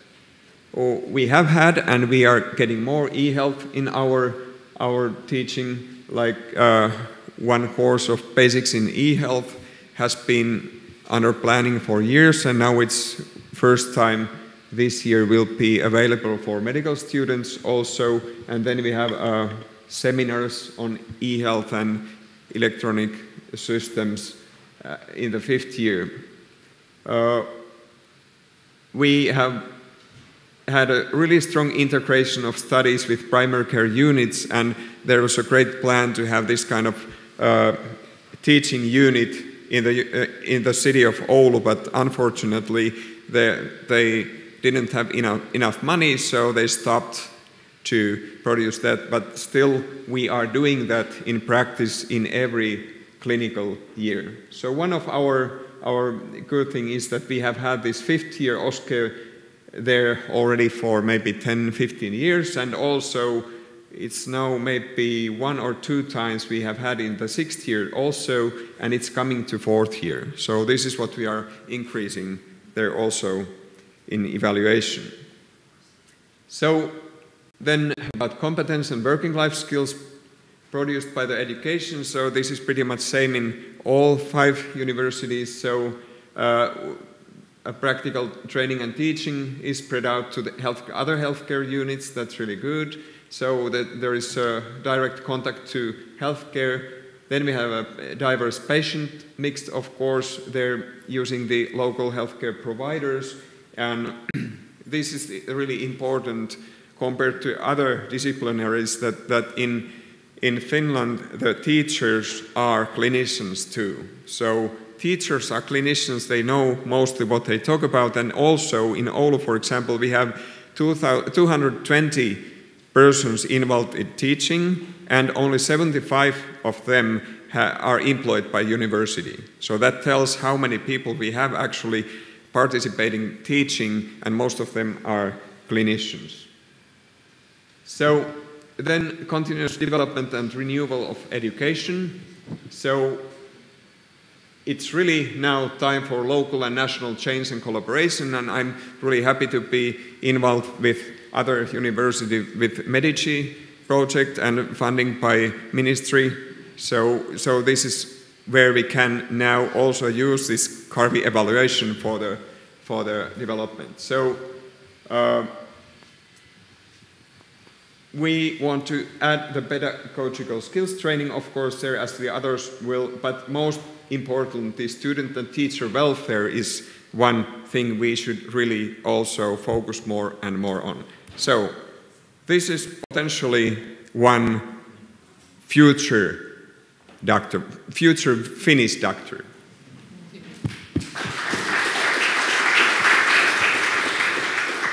Thank you, Petri. That was a good picture. You can see that the key skills with the stethoscope and, and other, other uh, devices to look at the patient are still there.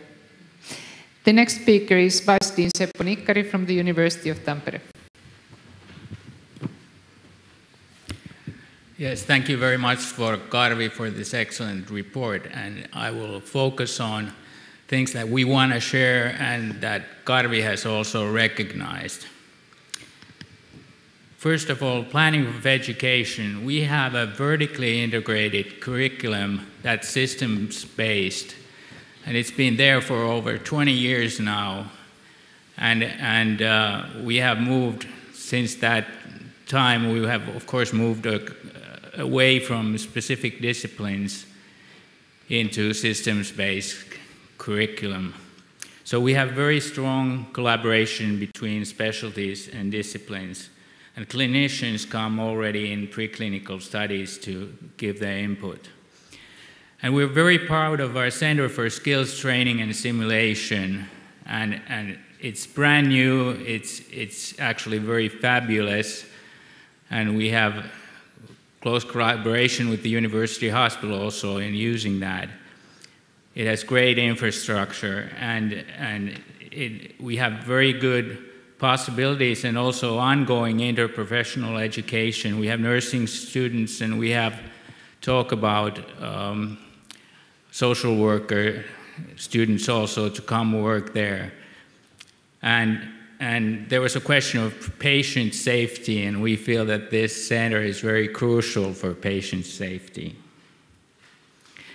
Implementation of education. We, of course, like other faculties, we have close cooperation with, with several health care centers and hospitals. And we have no one, not, not one of our, our teachers can participate in problem based learning as a tutor without undergoing teaching. And, and we also have our own programs for staff development educationally. And when we come to assessment methods, we of course have the traditional summative tests after each block, but we've been developing uh, formative assessment consistently. And we have a long-term use of our own progress tests with nearly a thousand questions that have been developed to uh, answer to local needs of, of what, what a physician needs to know.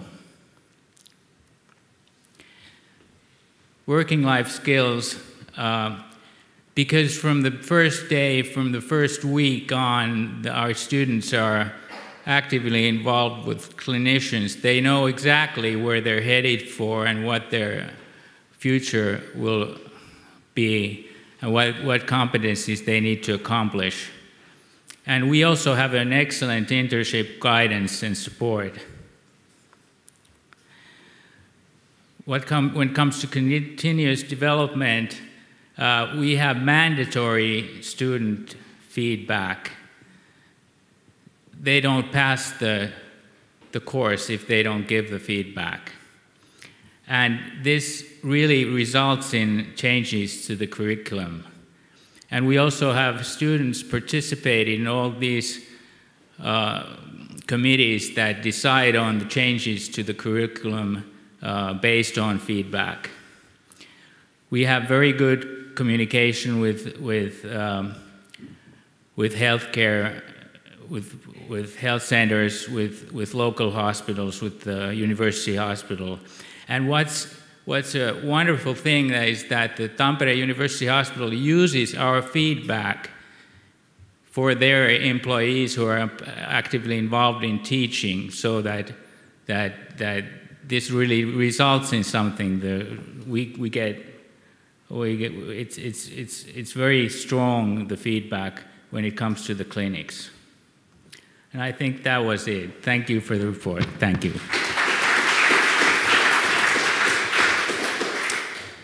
Thank you very much. And it's good that you're telling what you already are doing well. We try to refrain from saying which university does what, but you're very welcome to tell it yourself. And uh, then it is uh, Outi Kortekangas Savolainen, who's the director of the Center for Medical Education from University of Turku. Thank you. Sharing instead of competing between medical faculties has been my slogan since I began in, in my present post as the director uh, five and a half years ago. I am also concentrating on things we might do a little bit differently and might help others. Uh, we are the one who has got the Center for Medical Education, and the only one in Finland. We have been working for 16 years now. Our tasks are curriculum de development, pedagogical education of teachers, mentorship program, feedback systems, etc., and also scientific work. I think a uh, practice to share could be also a categorization of learning outcomes into three categories. That is easy enough for even me to understand. Uh, I think we have a strong body working for this curriculum mapping, which might be starting now. We have a, a system of study leaders. Educational leadership is emphasized. They work as a group under the chair of our educational dean. We hope that they get a holistic view of educational development and can show shadow regions in education. We also have a working life advisory board mentioned in the report. We, in planning of education, we nowadays have a practical approach to collaboration in education and research. We have no ambitions to merge organizations. Health Campus Turku comprises of the medical faculty, the universities for applied sciences, both Finnish and Swedish, the Åbo Akademi University, Swedish, and the hospital districts of Varsinais-Suomi, Satakunta, and Vaasa, and universities and schools in those regions.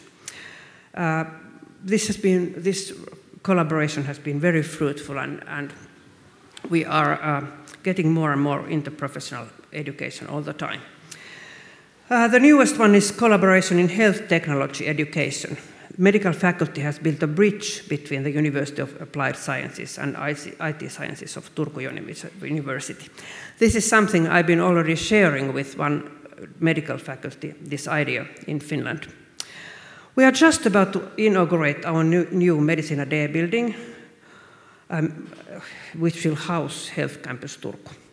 Uh, much of the education of the Turun ammattikorkeakoulu will happen here in Medisiina D, and rest of the social and welfare education of Turun ammattikorkeakoulu will move very, very near Medisiina soon. In implementation of education, we have tried to emphasize the well-being of students and teachers. Our unit gives courses in medical education and they are available to all teachers and supervisors. They don't have to be university teachers. They can be anyone who is supervising our students or our specializing doctors or even CME, doctors working with CME. We even have an ECTS, a web-based course which works well in, in remote places. We have collaboration with international faculty development community. I'm actually, for the moment, the only Finnish member in AMEE committees, and I had the responsibility for the fourth Interprofessional Faculty Development Conference in Helsinki last summer as a, a pre-conference of AMEE. It's not mentioned in the book that I, I spent half a year as a visiting professor at the Center for Medical Education at McGill University in Montreal, and still have very close contacts to Montreal. And I, uh, Montreal has shared many, many good practices with me, and I've tried to share them further here in Finland. I've uh, introduced the term uh, näyttöön perustuva lääketieteellinen koulutus, evidence-based medical education and, käypä lääketieteen koulut, lääketieteellisen pedagogiikan koulutus, also here in Finland. We have a mentorship program for all undergraduate students, which is mandatory, and we teach reflection. This is something you can read further in the report. I think we have good practices in our widely and for a long time distributed medical education, which are something to share too. In working life skills and competence, we teach professionalism. It comes from Montreal to all medical and dental students. We have had, um, for at least 25 years, uh, an elective path of research for medical and dental students, and nowadays we also have a pedagogical elective path, a pedagogical elective path. Our students take the course in medical education together with teachers. This is the first structured peer medical education program in Finland, and such a structured one is rare elsewhere too. Uh, one of our newest innovations is Sote Academia.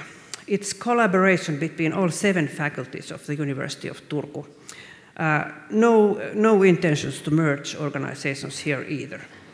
A 25 ECTS module in, in social and and uh, healthcare affairs anticipating the reforms is just to be started. It's available to all students of all faculties and in the Open University. I think this is something that we could share with others too.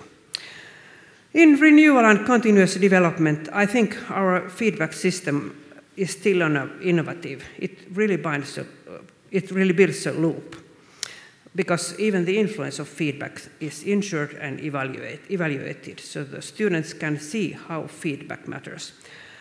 On the side of this systematic feedback, which is needed for auditing processes like this, we have emphasized the, me, uh, the importance of, of spontaneous feedback in many ways in Turku. Thank you.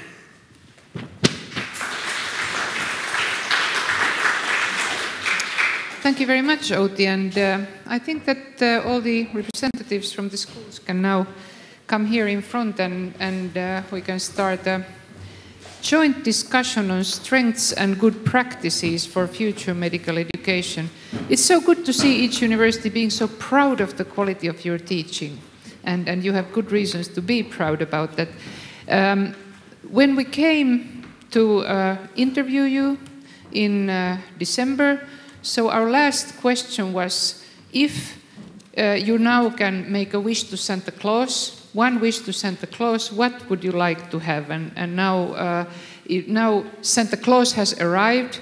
We still cannot discuss resources. We don't talk money. We haven't talked money here at all. We have talked content.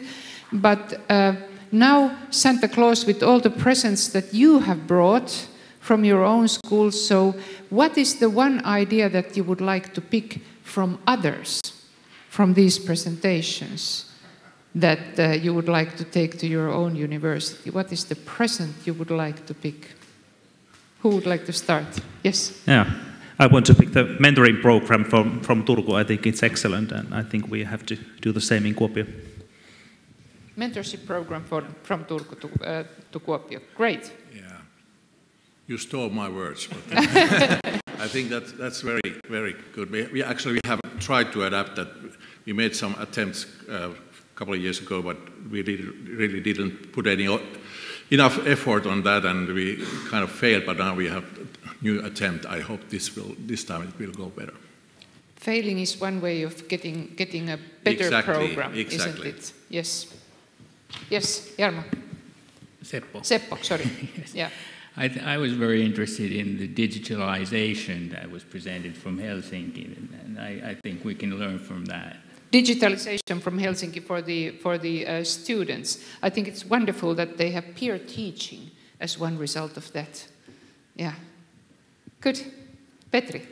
Yeah, I, I agree with Jussi and Jarmo, and uh, most of the ideas I, I, saw were really good. One thing would be what Outi showed that pedagogical, pedagogical training that's uh, specifically made for medical teachers. We should have national training courses, that kind that we can share. We can do them locally, but we can share them especially you have that uh, internet-based course, two, two ECT credits, so that's easy to take.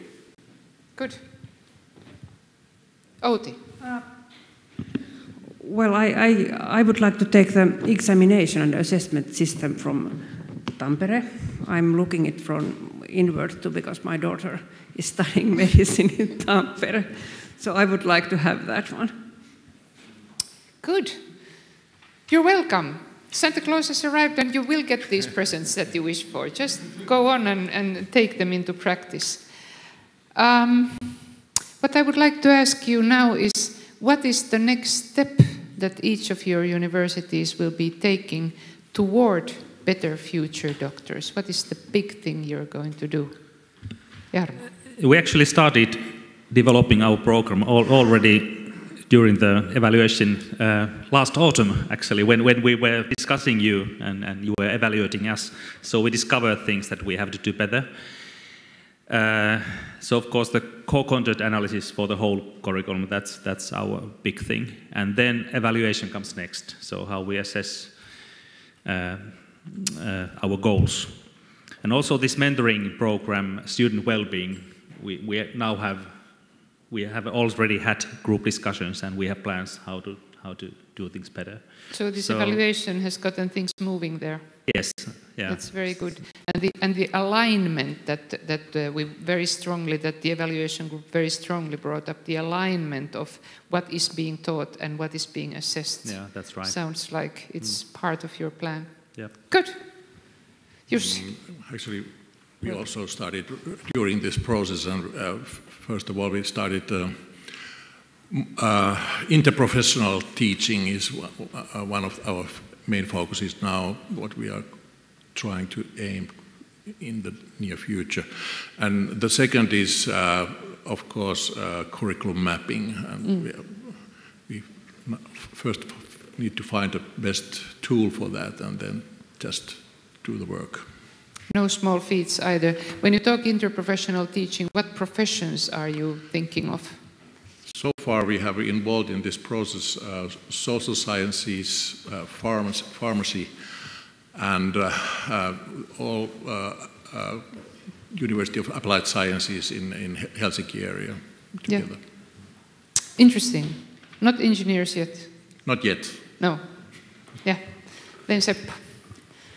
Yes. Um, the Karvi report is a, is, is a very good um, thing to start with, with when we start the MedDigi or MedIGI or whatever that, that the, the Ministry of Education has funded the five medical schools. It's when, when we decide on our core uh, learning objectives and, and stuff, I, I think this is a very good handbook for that. Yeah, excellent. Yeah, I will, I will agree with that as all of us stay in that uh, committee or that, mm. how would you say, who will proceed nationally on, on that. And one thing we decided a few weeks ago was that the uh, one major thing is to do in each subject this core content nationally. Yeah. So that's one major point what we have to do. So what we also do the, is, is the curriculum mapping and also where we put effort is mentoring and also I think welfare of students and teachers. Mm. So we are in progress in that. Very good. Can you, can you give more detail on the welfare of teachers? Is there anything special that you're doing? So they are starting one group of, uh, it's actually started from the clinical teachers themselves. So they have now get together like three times and they have started to uh, be more active. And then also we have increased uh, those uh, um, seminars where we try to get more and more uh, teachers involved. And then we, uh, under planning, there is a, a questionnaire for all clinical teachers to first map all the areas where, we'll, where we could and need to get better. So, Outi, what will you wish for? Because everybody is wishing something from you. oh I must say that our dean hasn't seen this report yet, so I haven't discussed with him yet. Okay. Because it was because it only came out today. earlier than yes. this morning. So I haven't discussed with him yet what, what he thinks of of uh, of the future. Um, there's so much going on in our uh, faculty now, but I'm also very happy, very very happy about this MEDigi project. We got the 3.2 million euros. Uh, for doing things together, and I think Mm. it's here is the team who is actually yes actually the core team who has who has been planning already what we are going to do, and, and it will be a very good platform for this if the deans think it's important to have this curriculum Yeah. mapping. Very good. I know you have been preparing sort of for this uh, for this discussion uh, for for this question about what will you do, and and then as part of the uh, part of the um, making public the results of this uh, of this uh, approach that we have had with Karvi, uh, you will be interviewed, or have you already been interviewed for the Finnish Medical Journal about this? They will they will publish a special issue in the. Uh, no, there's uh, it, that will. I, I think that will come in. There, there will be a short thing this week, and then there will be a larger one in August. Yes. It's Okay. already been published. I- Okay. I saw it in- Have you seen it already? Good. I haven't yet. yes, please. Yes, the Journal of Finnish Medical Association will call us next week and, and, And ask interview you. Specifically what we're going to do. and the decision process isn't that very easy that I decide on what we're going to do as a medical faculty. Exactly, I understand that. Then what, that's what the YOT says that you, you have to discuss with your dean first. You cannot say publicly yes. what you're I doing. suggest Yes. that our deans will get some time to discuss also these matters, and we won't be saying anything what we are going to do. But I, I, I think I think it's quite unique, I, uh, and uh, I'd, I'd like to hear Karvi's uh, ideas uh, of this. It's quite unique that an evaluation process like this becomes so public in the in the eyes of the of the uh, uh, profession that is being trained. And, and it, it's also an example of why, why this is such an important uh, step in, in, in work as well, that, that, that it's, it's quite unique that you have, you have done such an extensive evaluation. So I, I'd actually like to hear a little bit from you. Um, about this. About, about, uh, about the renewal and, uh, and the making public of this report. Uh, yeah, yeah. Actually, all evaluation reports uh, um, and evaluations carried by the FINEEC are, are always always public. But uh, in this case, I think the unique part was just that that uh, also the unique unit specific reports are, are now public. In previous uh, evaluations, uh, we have sent um, the short um, unit specific reports just to, to, the, to the universities.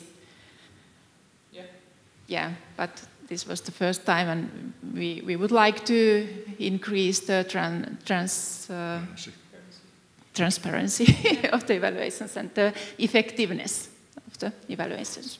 Good. So the universities have been brave enough to say that yes, we, we can be uh, watched from the public eye, and it also means that you, give, you, you get feedback from places that you don't necessarily expect to get feedback from. Is that correct? Yeah, I think that that was a very good idea to, to be transparent and, and publish all these results for all, all each university. I think it was a very good idea. Yeah. Is there anything the audience would like to, uh, like to ask? Yes.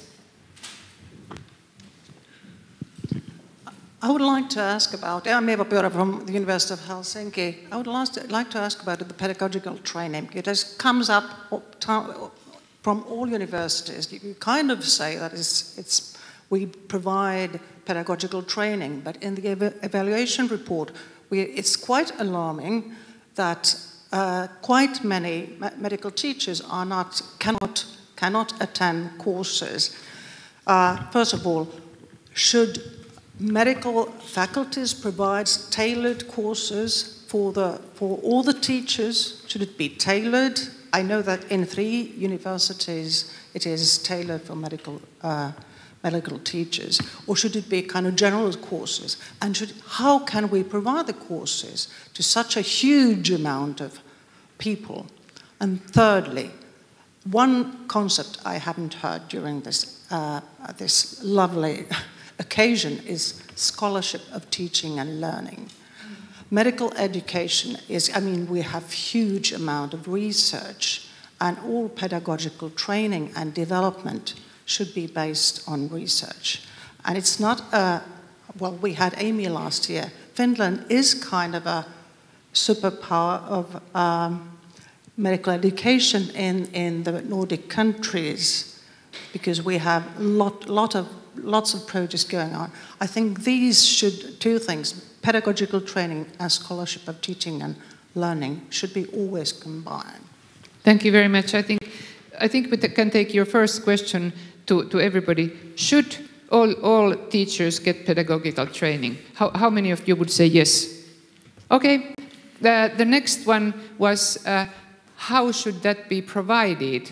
Uh, because, I mean, uh, there are 200 plus teachers in all of your schools and only about a third of them are employed by the university. So do you have answers on how to arrange training for everybody who teaches medical students?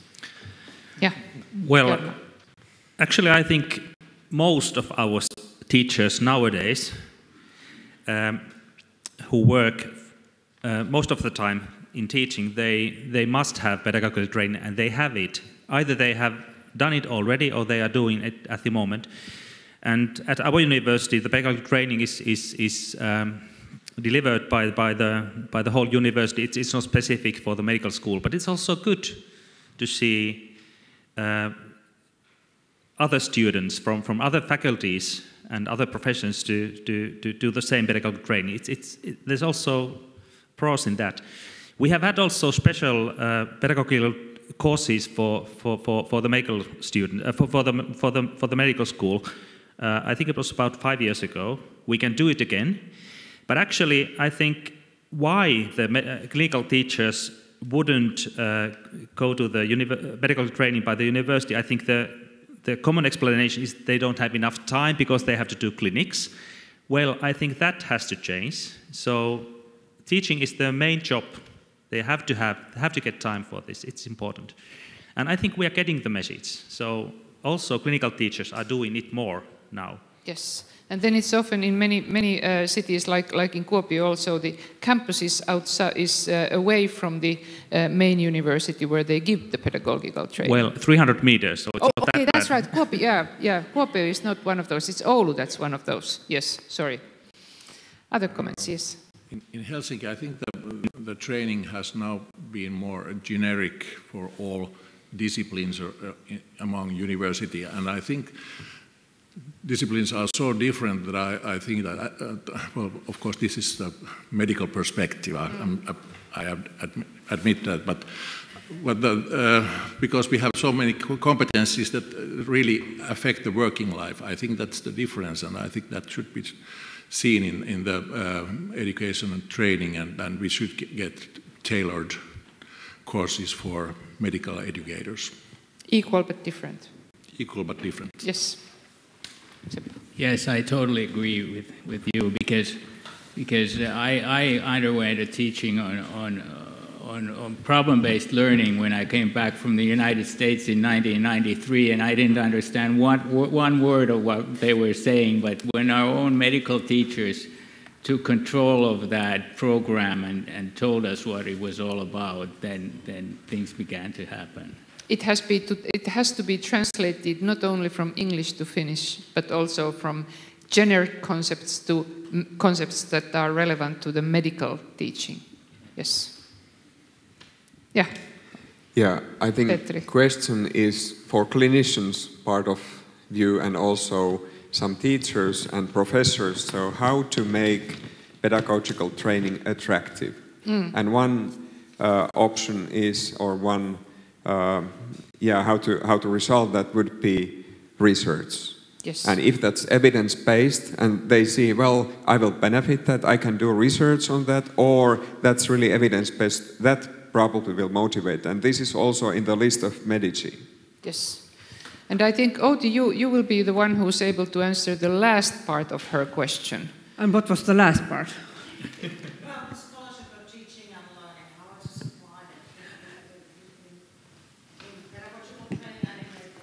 Yeah, uh, we have had in Turku uh, specific courses in medical education since 2003, so for a very long time. I think nowadays over 350 teachers have gone through this and 150 have done this to ECTS web-based course.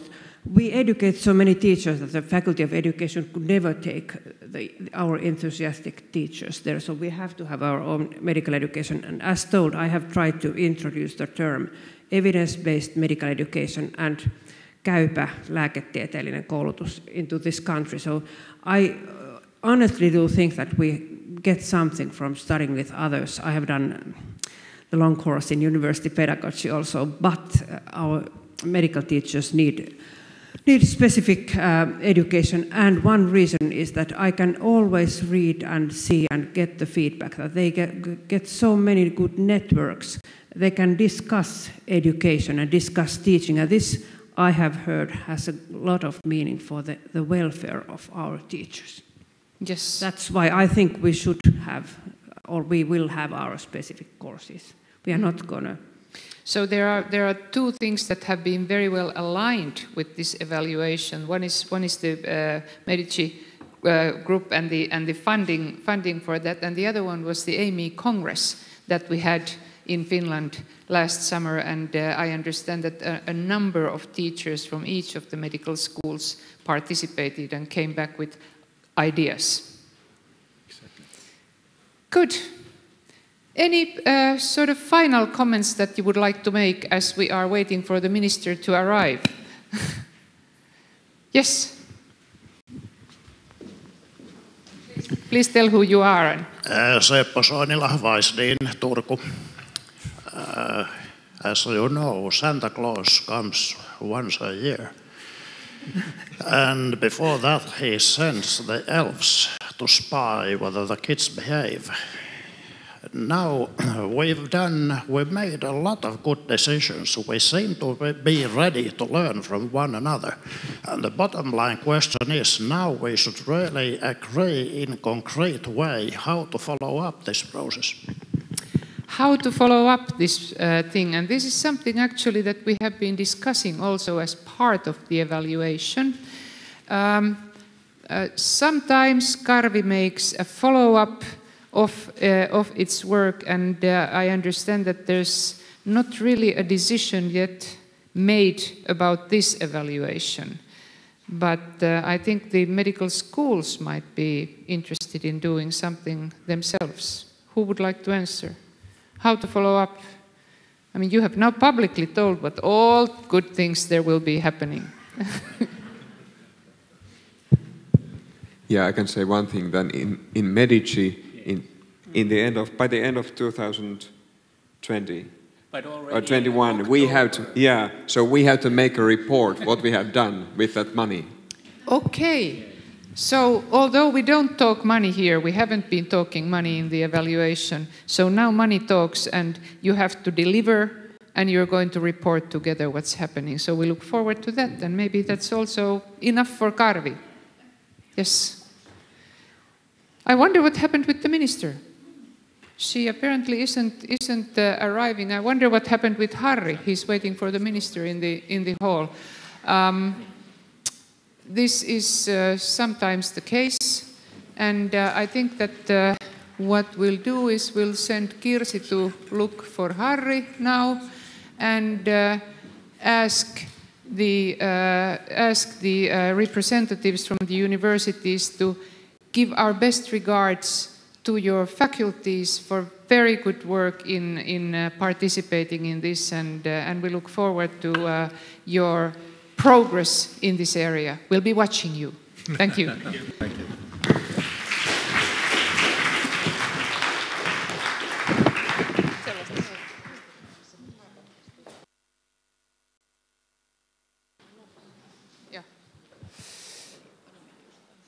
we will be seeing what happens and um,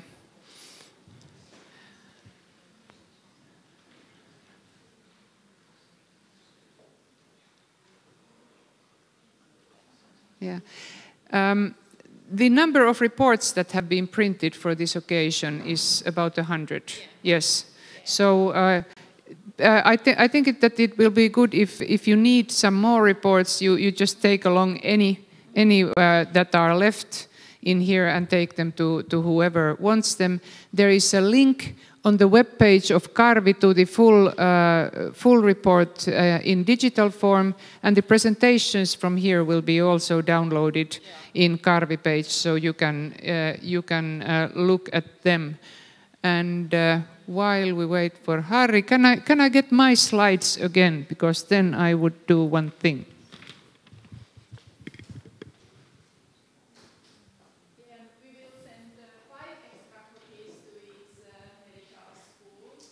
Five extra copies to each medical school. Thank you.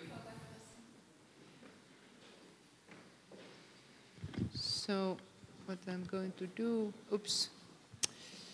Uh, how did it, okay, the minister is coming. We'll wait for her. Yeah, Hannele goes on from here. I was going to play you the Hobbit song. Okay, th thank you, Marjukka. Okay, today we have we have discussed and talked a lot about the strengths of of medical education and the quality and uh, the current state of, of medical education in Finland. And, uh, and also a lot of good practices uh, have been delivered. Uh, the evaluation team has also identified uh, development priorities and as the evaluation is carried out according to enhancement-led principles, the report also includes uh, uh, recommendations. Recommendations for medical units to support the, the further work, but also some recommendations for um, for decision makers and uh, to ministries. And now we are pleased to hear closing remarks by the Minister of Social Affairs and Health, Pirkko Mattila.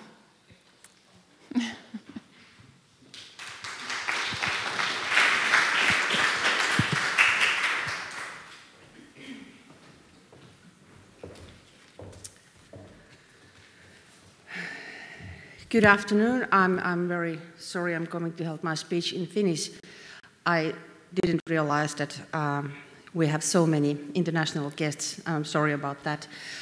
And sorry about I'm a bit late because um, I, you probably have heard about our big reform in, in, in social affairs and healthcare, and um, I think we made a big step today. Um, we are moving forward on this, on this uh, reform. But so now I'm going to switch the language. Eli arvoisa yleisö, tuota, ää, olen taustaltani siis myös toiminut terveydenhuollossa ennen, ennen poliittista uraa. Minulla oli ilo tavata entinen, entinen tuota, niin, työkaveri. Ää, olen to, toiminut, siis te, tehnyt pisimmän työuran OYSn päivystysleikkausosastolla anestesiahoitajana.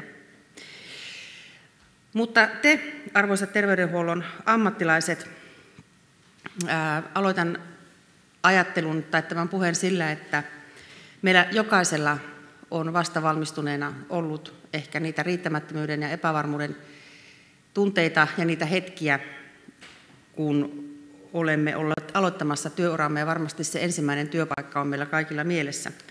Mutta olen myös sitä mieltä, että hyvällä peruskoulutuksella aina aloituksen epävarmuutta on mahdollista hallita ja hallita hyvin.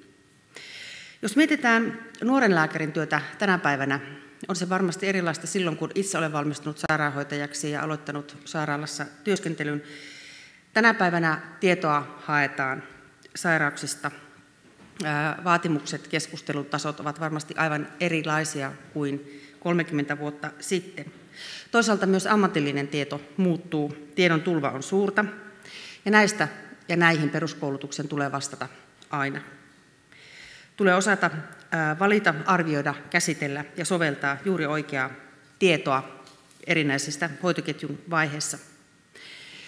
Ja nyt hyvin akuutin sote-uudistuksen tavoitteena on nimenomaan parantaa hoidon saatavuutta, mutta tarjota myös potilaalle valinnan vapautta oman hoitonsa suhteen.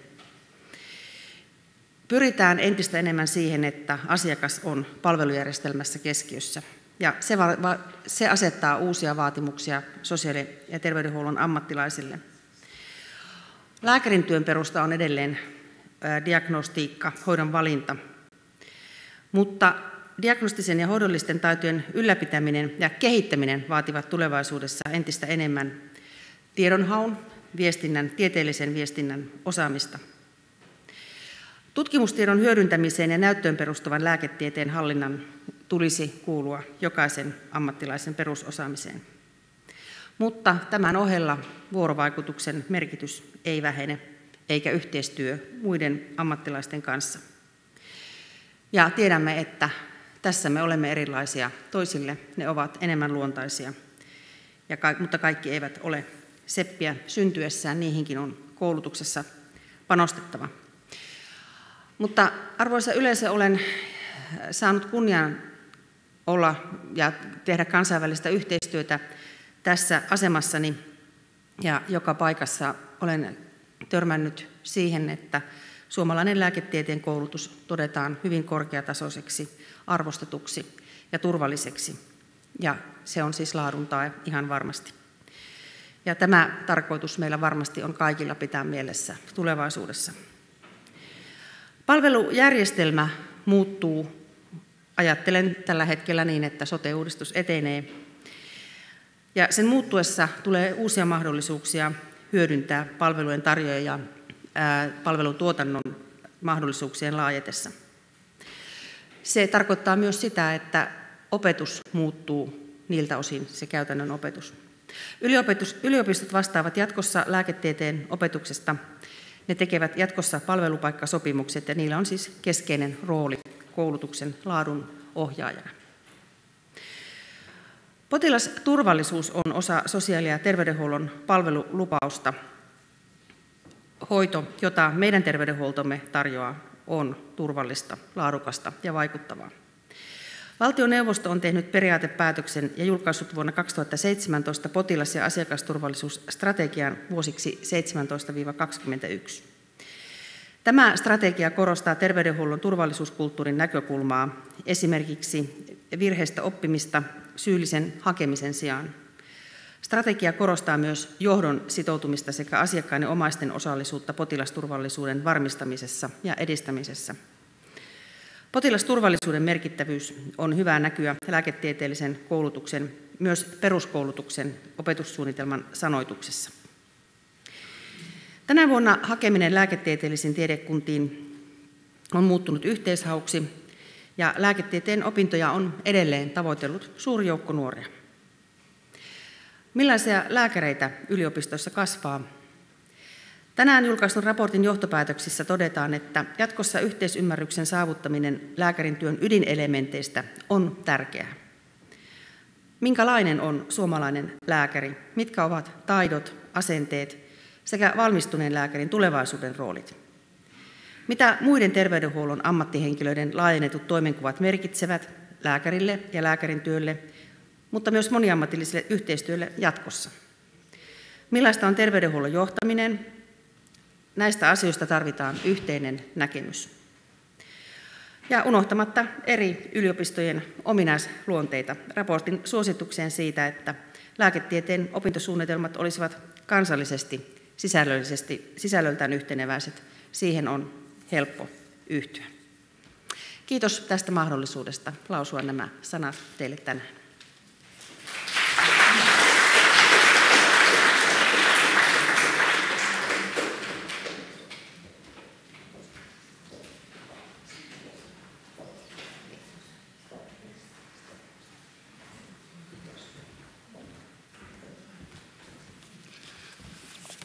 Lämpimät kiitokset ministeri Mattilalle ja menestystä jatkoonkin nyt tässä tärkeitä päätöksiä, kun teette, koskee tätä meidän ja liittyy tähän meidän päivän teemaamme hyvin, hyvin tiivisti. Kiitos paljon. Ja kiitos myöskin yleisölle, teille osanottajille, aktiivisesta osanotosta tämän päivän ja osallistumisesta tämän päivän tilaisuuteen – kuuntelemisesta, keskustelemisesta ja, ja tuolla myöskin tuolla sosiaalisessa mediassa on, on hyvin aktiivisesti tätä keskustelua käyty. Medisiinariliitto taisi tehdä tässä ihan tämän tilaisuuden aikana pienen kannanoton tai tärkeän kannanoton asiasta, ja tietysti oli vähän valmistelleet ehkä sitä etukäteen, mutta tuota, on, on tultu monella tavalla Tämä on hyvin, hyvin paljon saanut huomiota. Myös Yleen sekä suomenkielinen että ruotsinkielinen Svenska Yle on, on tuota, ollut tänä päivänä tekemässä juttua ja on ollut televisiokameratkin mukana, että tuota, ja radiossa on jo uutisoitukin. En tiedä televisiosta vielä tähän aikaan, mutta tu, seuraamme näitä sitten tätä keskustelua. So I want to thank you all for, for your active participation in this seminar.